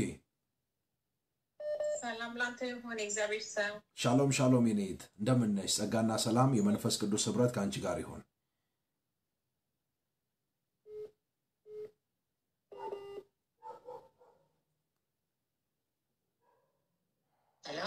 ወዬ ጃኔትዬ፣ ይሰማኛል። okay፣ እኔም ሀሳብህን ተቀብያለሁ። በጣም ደስ ይለኛል። ለሌላቸው ለሌሎች ሰዎች ተጨማሪ ዘይት እኔ ደግሞ አርባ ሺህ ብር እልካለሁ ማለት ነው። እግዚአብሔር ዘመንሽን ይባርክ። thank you so much ጃኔትዬ ከጀርመን በጣም ወዳጄ ናት። እጅግ በጣም የተወደደች መልካም ሴት። ለዚህ ለሌላቸው ሰዎች ቸርነት ለማድረግ እኔ አርባ ሺህ ብር ልካለሁ ብላለች እህቴ ጃኔት ከጀርመን። የሰማይ አምላክ እግዚአብሔር በነገር ሁሉ ይባርክሽ። ዘር ትውልድሽ ይባረክ። የረገጥሽውን ውረሺ። አሜን። by the way ቅድም አንድ በጣም አስደናቂ ነገር ልከሽልኛልና እ፣ የሚገርማችሁ ቅዱሳን ጀርመን ከተማን የምትኖረው ስራ ቦታ ደርሳ ስትመለስ ሙሉ መኝታ ቤቷ በማይታወቁ እንስሳቶች ቤቷ ሁሉ ሞልቷል። እንዳውም እዚህ ስልኬ ላይ ያለ ቪዲዮን ባሳያችሁ በጣም ነው ደስ የሚለኝ። demonic kingdom እንዴት እየሰራ እንደሆነ እንዴት አደገኛ የሆነ የመናፍስቱ ዓለም መንግስት እየተንቀሳቀሰ እንደሆነ አንድ በጣም አጭር ቪዲዮ ላሳያችሁ። ይኸውላችሁ ቤቷን ይዩት። ሙሉ ቤቷ ሙሉ ቤቷ በእነዚህ insect ኦች ነው የተሞላው። ተመልከቱ። ምን እንደሆነ አይታወቅም። ዝንብ ይመስላሉ፣ ጥንዚዛም ይመስላሉ፣ የሆነ ነገር ይመስላሉ። ሙሉ ቤቷ ሙሉ መኝታ ቤቷ በጠቅላላ ነው የሞላው እና ቅድም እየጸለይኩ ነበረ። this is witchcraft spirit ገባሽ? በጣም አደገኛ መንፈስ ነው። ይኸውት ቤቷ በጠቅላላ መስታወቱን በማየት ትችላላችሁ። ቤቷ ላይ በጠቅላላ እንደዚህ ነው የሞላው። ይሄ ዲሞኒክ ኪንግደም በጌታ በኢየሱስ ስም በአንቺ ላይ የተሰራ የትኛውም አጋንንታዊ ስራ ለዘላለም የፈረሰ ይሁን። ይፍረስ። እርግማን ሁሉ የተሻረ ይሁን። አሜን። የእግዚአብሔር የማዳን እጅ በአንቺ ላይ ከፍ ብሎ ይታይ። አምላኬ እግዚአብሔር እንደ ባለጠግነቱ መጠን የሚያስፈልግሽን ሁሉ በክርስቶስ ኢየሱስ ስም ይሙላብሽ። ዘር ትውልድሽ የተባረከ ይሁን። ከያዕቆብ ዘር ኮከብ ይወጣል ተብሎ በእግዚአብሔር ቃል ተጽፏል። እነሆ ክረምቱ አለፈ፣ ዝናቡም አልፎ ሄደ፣ አበቦች በምድር ላይ ተገለጡ፣ የዜማ ጊዜ ደረሰ ተብሎ በእግዚአብሔር ቃል እንደተጻፈ ለአንቺና ለዘሮችሽ የዜማ ጊዜ ይሁን። ለአንቺና ለዘሮችሽ የዜማ ጊዜ ይሁን። ዘር ትውልድሽ የተባረከ ይሁን። በዘመንሽ ሁሉ ፍሬ ማፍራት ይሁንልሽ። ራስ እንጂ ጅራት አትሁኝ፣ የበላይ እንጂ የበታች አትሁኝ። የእግዚአብሔር ሞገስ፣ የእግዚአብሔር ክብር፣ የእግዚአብሔር ኃይል ለዘላለም በአንቺ ላይ ይቀመጥ። in Jesus mighty ዘርሽ ይባረክ፣ ዘርሽ ይባረክ። የአሴር እግሮች በዘይት የጠለቁ ናቸው ይላል እግዚአብሔር ቃል። in Jesus mighty እባርክሻለሁ። በዘመንሽ ሁሉ ምሰጪ ሴት ሁኝ። በዘመንሽ ሁሉ ምሰጪ ሴት ሁኝ። in Jesus mighty name ባረኮች። መጽሐፍ እንደዚህ ይላል፣ የስድስት ዓመቱን ምርኮ እንደ ሰባት ዓመት ምርኮ አድርጌ እመልስልሃል ይላል። መስጠት እድል ነው። እድል ሞኝ እንዳትሆኑ እሺ።